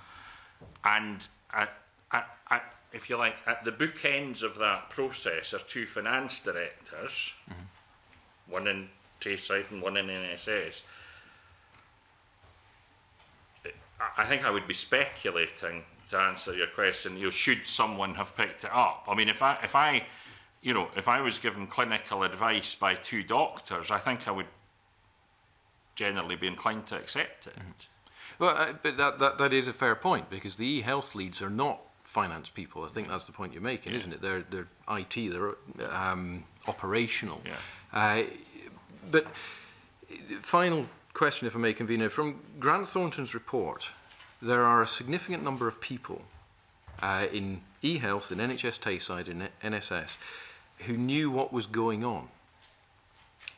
So who is going to take responsibility, who will be punished for this, Mr. Gray? Well, I think you, well, I'll not tell you what you may think, I'll tell you what I think. Um, I think that the finance director of NHS Tayside has left work earlier, as in some years earlier than he meant to, he has, as Ms McClay has made clear, uh, therefore uh, had an actuarial reduction in what he would otherwise have received by way of pension and lump sum, and his professional body is considering his position. That seems to me to be a fairly significant weight on a person. Mm -hmm. um, I have reviewed the situation in relation to the e-health leads and have removed delegated financial authority from them. I don't regard that as a punishment, but I regard it as an appropriate action nonetheless. And I will await the report from NSS before making any decisions about what to do about it. Thank you. Professor Connell, uh, one of the last times you came to committee, we talked a bit about the bonus payments that uh, management NHS Tayside had received. Um, can you tell us when the last round of those um, payments were considered? Firstly, I suspect it would be, for the sake of accuracy, best not to call these bonus payments because I think Mr Gray has also clarified at an appearance before this committee that these are pay increments which are made for senior staff within NHS Tayside. So I think bonus is a misleading word in that circumstance. But they're judged on a criteria they're of satisfactory criteria of performance. performance. You're quite yeah. right. Okay. Um, so in terms of the annual cycle, it runs essentially a year behind. behind yeah. So the payments to recognise performance for the financial year 2016-2017 would be enacted during 2018-19. Yes last time this was considered was for the previous year, 1617. So if, if, you're getting to the point of asking about the payment made to the finance director, it would be based on his performance in the year 1516. That would determine his level of pay in 1617. So his pay in 1617 would be determined by the assessment of, of his performance in 1516. Okay, and was in the last round of these performance awards, was he awarded an increment? to my understanding, he was. And that would indicate that um, the judgment on him that was satisfactory performance to to receive that increment. Is that correct? That bonus payment. The triggering of an increment is based on a performance which would be deemed either satisfactory or higher than that, and by without having the facts in front of me, my recollection is that he, he was deemed satisfactory in the year 1516. Okay, so he received his increment in that year? In that year, yes. How about the rest of management? Um, again, without having the, the, details in front of me, I, am working from memory, but my recollection is that no members of the senior team were deemed less than satisfactory in that year. So every member of the senior team in the last round of bonus payments received one? if I can again point out, these are not bonus payments, they are pay increments which are determined by the Scottish Government. I think it's important for the sake of accuracy to note that. If I call them incremental payments, the last round of yes. incremental payments, every member of the management team received one. I would need to confirm that, but I think that is correct. Yes. Is that correct, Mrs McLean? Yes, that's correct. Thank you. Um, Willie Coffey. Thanks very much, Convener. Um, I wonder if I could turn to the transformation agenda. Uh, uh, perhaps this is the bigger issue for NHS NHSTSide and perhaps other NHS boards in Scotland to embrace this change agenda. But what I want to ask you is why is it taking Professor Ritchie to come along at this stage and make us aware or make us at least think that a transformational change is required in NHS Tayside? why haven't you done that on, under your own volition? I could ask that of Mr Gray and Mrs McLean. Fashion perhaps pick that up first, Mr. Coffey, and I think it's a fair point. I think I would contest the fact that it was only when Professor Sir Lewis Ritchie was appointed on the Insurance Advisory Team that NHS Tayside understood, understood the need to transform its business. I became chair of NHS Tayside just about two and a half years ago, and it was at that time that it was very clear that Tayside's operational expenditure was greater than its incoming revenue, and that there was a need to transform its activity. In the first period after that, significant effort was made to try, if you like, to um, carry out a fair amount of transactional activity to, to halt the rate of over expenditure, but with a clear recognition that transformation of our operations was going to be required. It was very clear, as Professor Sir Lewis Ritchie pointed out, that transformation takes significant time, but the board did embark on transforming its activities in the year 1516 and 1617. It was at, at that stage when it was clear that the pace of transformation was insufficiently rapid and that we were still having difficulties in matching our operational spend with the available revenues that Sir Lewis Ritchie's assistance was uh, brought in. So transformation has been on the cards really for over two years, but the pace has been picked up in the last year. In terms of evidence that some things are happening. You asked Caroline Lamb for evidence of transformational change. I think there are some genuine transformations happening. Perhaps the easiest one to cite is a major change to the way in which Tayside will deliver its surgical services in the future. Uh, a process called shaping surgical services, whereby in the future acute uh, unscheduled surgery will be delivered out of only one site. In the past, that has been delivered out of two sites. So transforming the way in which we deliver surgical care will be better for patients, but will be more sustainable in terms of workforce and finance. so that was a process that began before Sir Lewis Ritchie was in place and will continue in the future. There are other major transformations to the way we operate, which are ongoing at present. I think it, I mean, it certainly gave me the impression, I don't know what the rest of the committee members feel, that that kind of pace of change or indeed the transformational change that he was referring to had been evident within the NHS Tayside, but we perhaps disagree in interpretation of that. But uh, are you confident, as Mr Gray, are you confident, and Ms McLeay, are you confident that you have the skills, the capacity and otherwise within the NHS Tayside to carry forward this transformational agenda? So that we're not sitting here again, perhaps next year, in a conversation like this? I'll maybe pick that up just to start off with. I think um, there is no doubt, I think, in terms of the Health Board and NHS side and probably other boards, that um, there is a challenge around capacity. Um, and that, that's just because you're relying on individuals doing their day job and, in terms of managing patient care um, and at the same time being part of the redesign process and the transition process in terms of new services coming in while still managing the existing services.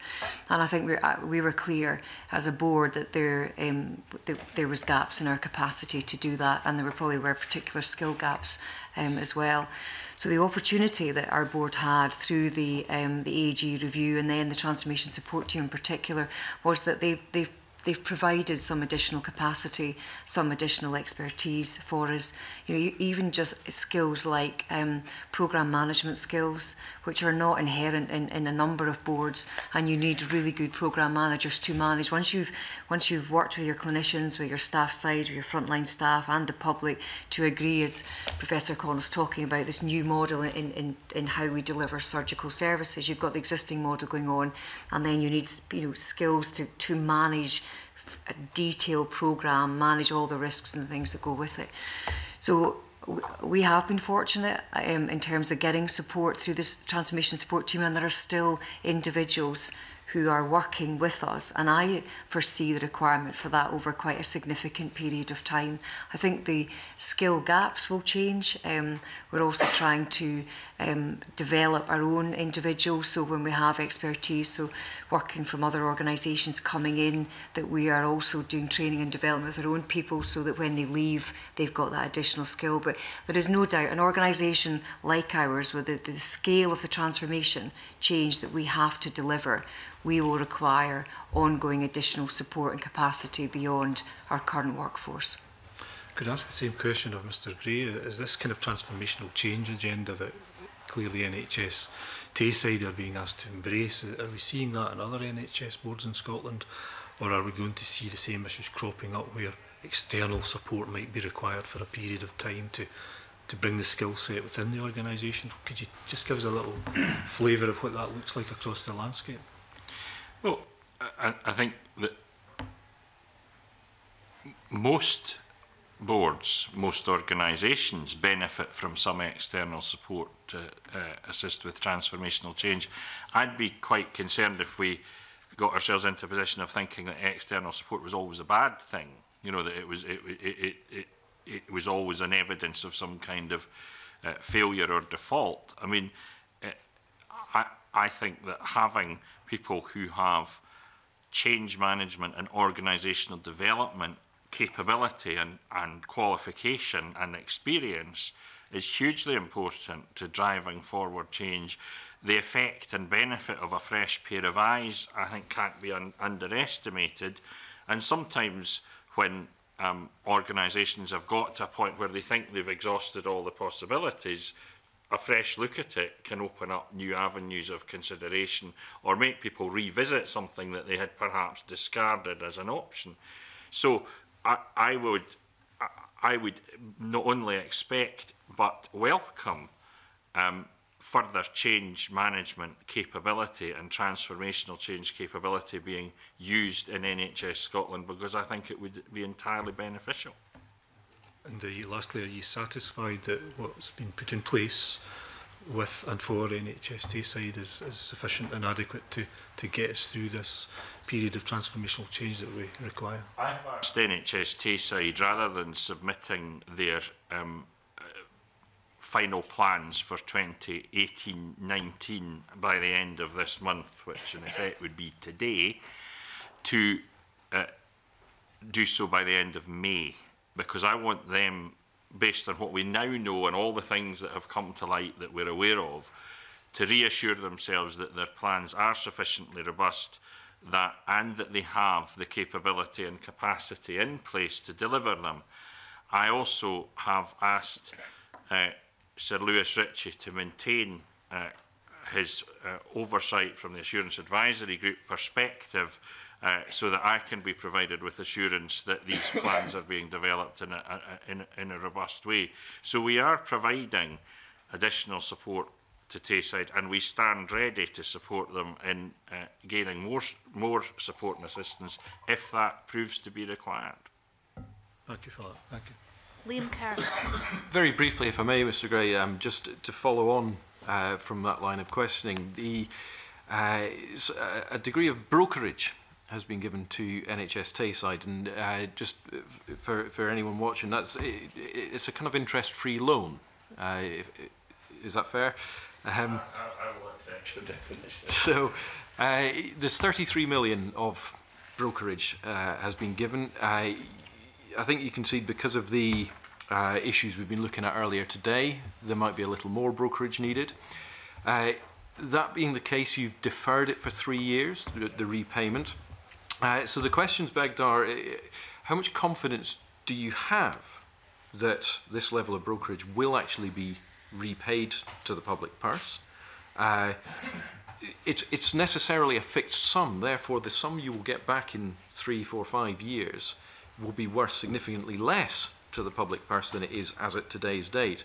Uh, and is there any implication for the rest of the NHS budget uh, of having put this amount of brokerage into NHS Tayside.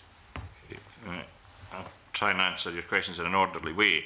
Um, I had already indicated to the committee an intention to uh, provide at least 4 million of brokerage in this relating to this financial year in addition to what was already provided the, the, the very sad fact about the 5.3 million on which we have concentrated most of the questioning is it was in effect additional brokerage which had we been asked for we would have given. So that that's the unfortunate fact about it all. So that if you add 4 and 5.3 you get 9.3 that's not difficult arithmetic. However, one of the things that I have asked um, NHS Tayside to do is to assure themselves that in their estimates of expenditure they have removed as far as they possibly can um, an optimism bias. So my expectation is that as we close off the end of this financial year, which we are now approaching, my expectation is that I will provide brokerage to Tayside in the range of 9 to 12 million. That's my expectation. And they will be able to tell me more about that after their board meeting this afternoon and after some final work that Alan Gray is, is leading. So that will take the overall brokerage into the you know into the 40 millions. So that's the answer to your first question. Um, will we get it back? Do I have confidence I have a strong expectation that we will get it back. My confidence will increase over time. Has it been detrimental to the rest of the NHS? No, because it's not that NHS Tayside have money and it just disappeared down a hole. It was spent on for legitimate purposes on patient care and other things. So, so there has been benefit from this expenditure will I be glad if I get, say, £45 million pounds back in three years' time that I can then recycle into other things? Yes, I will. Just to be clear, when I say there's no detriment to the NHS, quite clearly the money has gone to NHS Tayside and yeah. it will have been used. Yeah. But that money has come from somewhere. So from which budget has it come? Is that somebody else's budget? Has NHS Grampian uh, not received 33 million as a result? No. So the, there are there are always in a budget of 13 billion pounds end year adjustments, and we. The opportunity cost. Yes. Is what? Is what, and to whom? Well, it's. It's very difficult to speculate. I'm not disagreeing with your question. It is, it is fair and appropriate. What could we have spent 33 million on that we didn't? Well, the answer is I didn't know because we didn't plan to. So it's not that we had some plans that we then cancelled and said, no, we'll not do that. We simply didn't devote 33 million to some other board or function or purpose. It was devoted to NHS Tayside. Bill Bowman. Thank you, convener. Good morning, um, Mr Gray. Sorry, I'm going to continue on the on the 5.3 million and the Grant Thornton report, which um, of course I've read and it's quite clear and I think it's a good report. But in my mind, it's what I would call a limited report because there were specific um, instructions given to them basically to look at certain controls and look at um, the accounting of, of you know, these transactions. And they do mention in several places that their work did not constitute an audit or a forensic examination and there does not provide the same level of assurance. And the conclusions are based on the documentation provided by the various um, bodies, bodies concerned. That gives me a, a slight worry because we've been, um, you know, you, you talk about, you, you take things, what people tell you, you have to take some trust in that. But he, I'm not really clear from this exactly who knew what and when. It doesn't mention, I don't think, um, the retiral of, of, of, the finance director or anything you know, he may have said. And there's a, there's a link being made here that um, you know, that person left because of something that had been done uh, in the past, and you've used terms like detailed being obscured. Do, do you plan to have a forensic examination so we can really get into you know, the detail of this? I had not at this time planned to do so because a forensic examination would uh, imply that there was some information somewhere that, that you didn't have. I mean, that's, that's what a forensic audit, as I understand it, would normally do. It would go and look for things that you didn't have or you know, thought might exist but weren't sure where they were. I think we have pretty much all the information that exists. What I would say, as I would always say to this audit, this committee, is if the committee were to uh, wish to make a recommendation about um, further work that it wanted to see done, I would take that very seriously. But I think we are taking it pretty seriously already. I mean, we've, you know, we've commissioned a report as quickly as we could. We've got the results pretty fast. We've taken a number of actions as a result of that um, Alan Gray, who is um, uh, you know certainly one of the best finance directors uh, I know, is going through now in the level of detail the accounts of uh, or, or the, the budgets of NHS Tayside, uh, which he is now able to do because he, he has access to all of that detail and I think there's some fairly thorough looking being done, and I can't imagine, and I, I'm not going to speak for Audit Scotland, but I can't imagine that having heard all that they've heard, that they're not going to take a fairly close look uh, at issues uh, connected with this financial year and may review previous financial years as well. So I think the level of detail we have gone into is pretty substantial. Um, but as I say, if this committee had a recommendation, I would pay close attention to it. Obviously, we'll come to later. But I, don't think there's a doubt that we have the figures, and we've seen the schedule of the reversing entries, which is a bit of an audit trail in itself. I, I'm still not just convinced, and sometimes when you read these reports and it just has um, titles, it's a little bit harder to follow exactly who is who, that we're exactly clear as to when people knew or didn't know or exactly what they knew. Um, what discussions maybe took place about year-end balances. You know, could this be improved? Could that be the presentation be improved? The board, as I understand it, are saying we didn't really know about this. Did the finance director actually hold his hands up and say, I did all this? Should I pick us up? I appreciate the points you're making, Mr Bowman.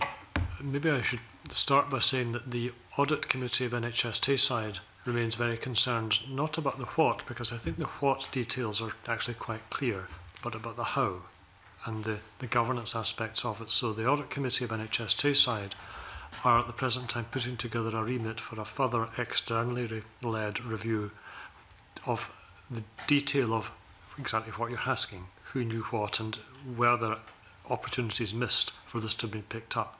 So while I've given you assurances today that I do not believe that there has been anything missed, our audit committee have asked for some further assurance about, you know, why was this missed for so long? In terms of the, the, the titles, and you allude to a number of names, I would point out that this arrangement dates back to 2012, and when we talk about Director of Finance, it actually was a different Director of Finance in NSS from the current one, and a different Director of Finance in NHS Tayside from the current one. So actually the arrangements when they were set up were established by a different set of people. But what I think has been the difficulty is that they've been continued through time. So it's become almost part of... I think Mr Bowman had a direct question. Did the Director of Finance hold up his hands well, that was I was. I'd i think Miss McClay was Ms. dealing McClay with that. Well, she was going yeah. to deal with that. So, so what I can say is that my first awareness of this was when the director of finance um, advised me of it well, advising you of an issue is different from saying I was the person who perpetrated it. So he advised me of the issue. Um, on further questioning, I, I was aware he clearly had knowledge, and that was when I then made the decision to do the internal investigation. Now, whether there is a forensic examination or your external review, I think it would be interesting to know what you're actually proposing before I would um, push on that, and perhaps will you have some oversight of that? Yeah, um, sure. absolutely. And my finance director, Christine McLaughlin, will will will, will expect to see that. It may be. I, I wonder, um, uh, convener, would it be helpful for us to write to the committee with the terms of reference of that external review? Would that would that be useful? Yes, please. Yeah. Mr. Bowman, you. I just just one final point. I mean, you've used. Uh, a term detail e- obscured. Um, now, if I go back to my sort of auditing days, if something is hidden, then you would expect the checks and balances to find it. If there is collusion, it is much harder because there's more than one person involved. Now, how sure are we there was not actual collusion um, here? Because we, we're focusing a little bit on the NHS Tayside. In the other, you know, parts of the organisation. You know, was there a collusion to misrepresent the Tayside accounts? So I've already made clear that NSS is doing an internal investigation and we shall see what that brings. Um, I think, uh, well, no, I'm not going to say what I think because that's that's the road to ruin, frankly. Um, I expect... expect you to be honest with the committee, Mr Gray. Yeah. Oh, indeed. But Great. Great. no, sorry, I, I, I, all I meant, convener, is I'm not going to speculate because okay. that will not okay. lead to an honest response to okay. the committee. It will just lead to my speculation. I expect, I think I should more fairly say, that the external review that Tayside are commissioning, about which we have spoken, will bring further clarity to that detailed point about who within Tayside knew what about what when. Um, I have a, a I don't I can give you it, but and I'm happy to read it out if you want. I have a timeline here of what we knew when, but you know that may not be the line of questioning you're pursuing.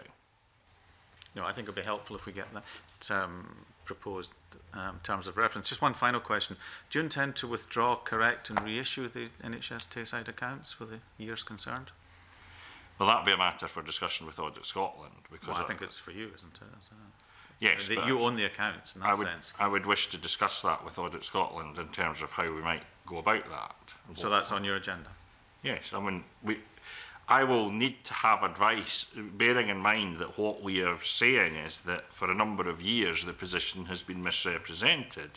I will need proper advice on what, how one rectifies that situation and at what point the um, changes become material. I think they're probably material in the sense that we're discussing them at great length uh, here. Uh, yes, it's sorry. Not just money. All I mean is there may be some years in which the differences were not material. There may be others in which they are. I do not. I simply do not know, but I'm happy to respond to your question by saying yes, that is something I am okay. considering. Thank you. Mr. Gray, did you see the first panel of evidence this morning? I, I'm afraid I wasn't able to. No. I, okay. Um, Um, I asked Sir Lewis Ritchie um, a couple of points around his his report, uh, which was published before this subsequent issue of the five million pounds came up. But I was particularly interested, as I have been before, in the prescribing issue at um, NHS Tayside and the detail that um, is in his report around that. Um, I can't remember his exact words, the official report will tell us uh, later, but um, he indicated that he was perhaps a little uh, wary of the movement from a red warning to an amber warning on uh, the, the prescribing issue. Um, I, I had really wondered if you had seen the evidence and how you felt about that indication from him. Uh, no, I hadn't, but um, I think in uh, response to your earlier injunction about being honest with the committee, which I trust I always am. Yes. Um, I uh, ha I'm aware, or anyway, of Sir Lewis's concern about that particular issue. Uh, he and I had a brief conversation earlier this week, and uh, you you you may recall uh, that um, I had previously uh, engaged the Deputy Chief Medical Officer to look at the issues around prescribing. And um, I think my intention would be to ask Gregor Smith, Deputy Chief Medical Officer, uh, just to come back and provide some further assurance and support on the prescribing issue. That, if I may say to the committee, is one of the areas in which I'm very keen that what I earlier described as optimism bias is weeded out. I think what Tayside are proposing to do on prescribing is spot on. Mm -hmm. I still wonder whether um, the ambition they have expressed exceeds the likely rate at which progress can be made because it is a relatively complex issue that requires a lot of persuasion of a lot of people. So I think they're doing the right thing. I just want to be sure it will happen as fast as they think it will. In your view, Mr Gray, what drives that rate of progress that you say is necessary? Well, it, it, engagement above all, um, you know, in, in English, speaking to people, uh, it's it's it's not a it, you know it's not a complicated technical process, but decisions about prescribing are multifaceted and um, also there are historical practices, and I'm not suggesting they're all bad or wrong, but if people have done things in a particular way for many years, you're asking them to do it a bit differently. So I think, I think engagement, persuasion, ensuring that both clinicians and the public understand what we're actually aiming for, which is better prescribing, these are the things that I think matter.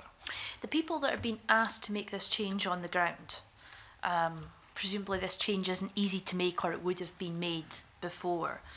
How do you think th this issue about 5.3 million pounds just being misaccounted for. How do you think that will affect their confidence to see through the change that they're being asked to make when they look at the newspapers and they look at Scottish Parliament and they look at the board and think, well, they're not asking these basic questions around where this money is, so why should we make that change? Do you think that will affect their confidence in any way?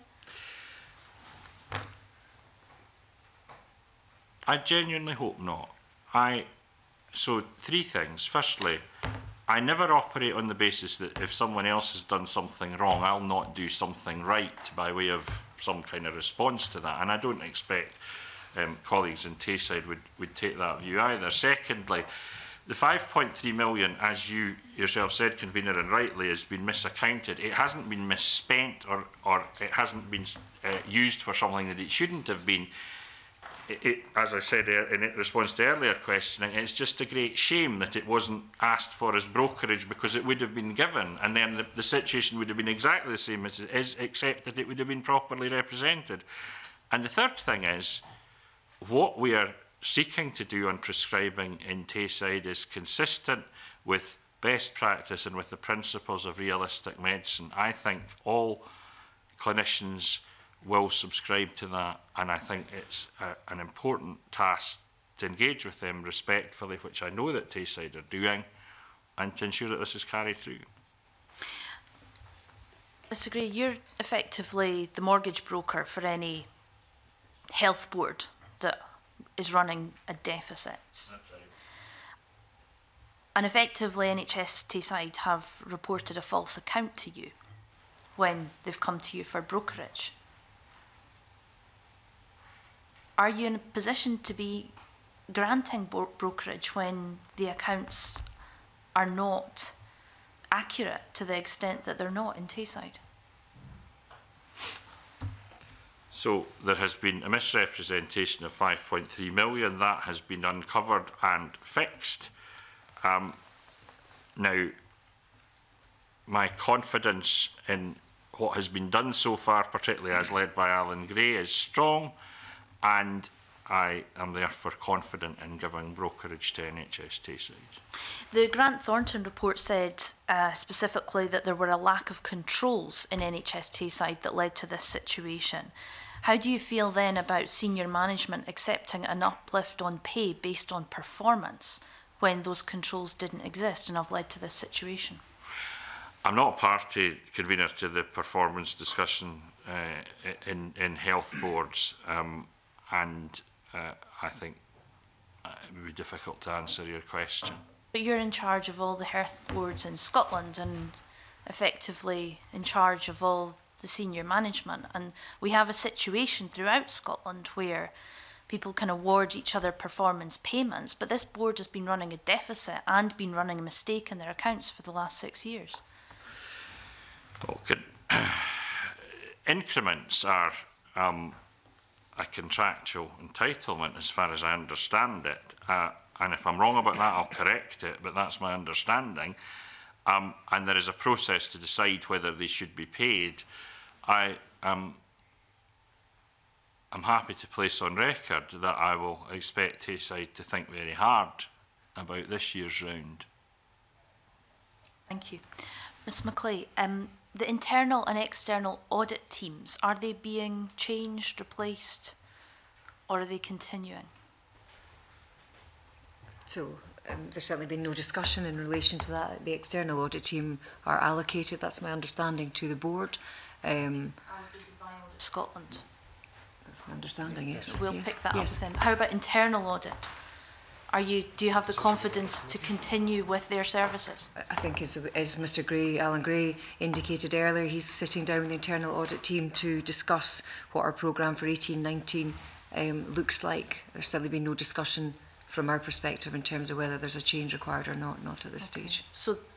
yes, Mr Gray. I think when the external review that we've already spoken about has concluded, it will be an appropriate moment to consider the points about internal controls and internal audit and to decide at that stage what that report tells us. Okay. Because it seems to me that internal audit, well, we know that everyone that's looked at this has missed it, but if, if you know, it, it seems to me worthwhile that it's a considered if there should be you know, uh, strengths added to that team to make sure that this doesn't happen in the future. Leslie McLean, are you comfortable that the Director of Finance carried the can for this?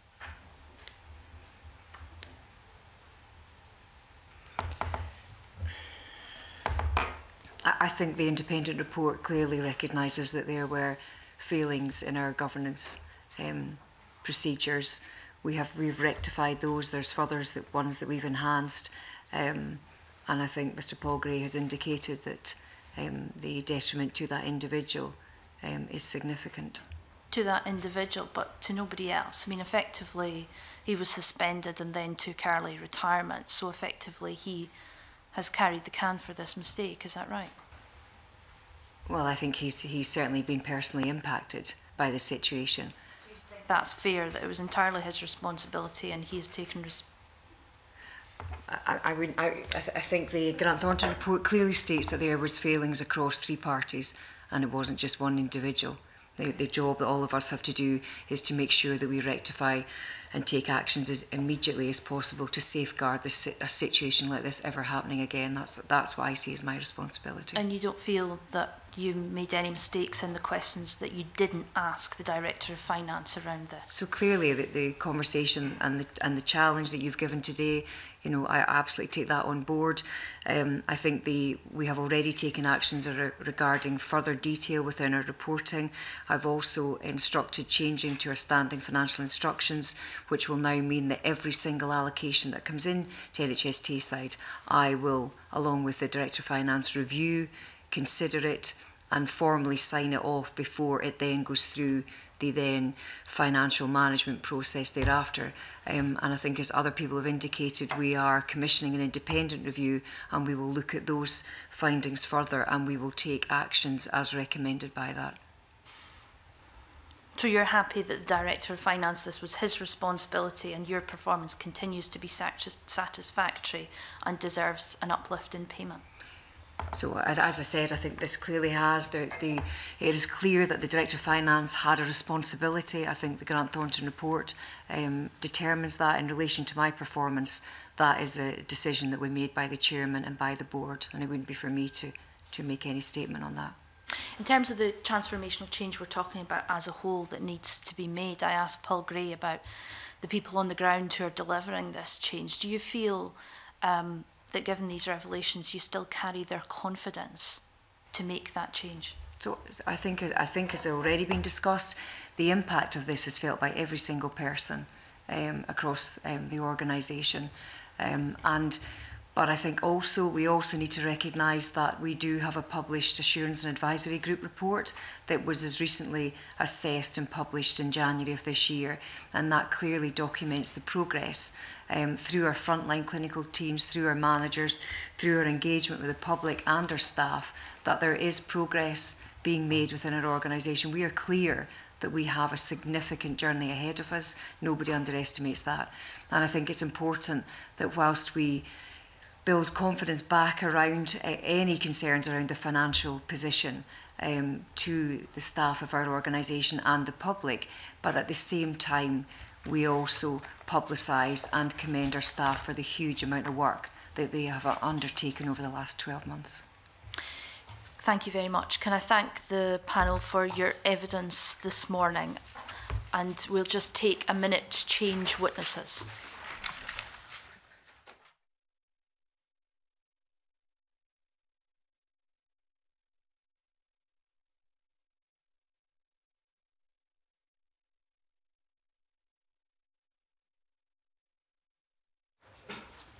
I move the committee now into private session.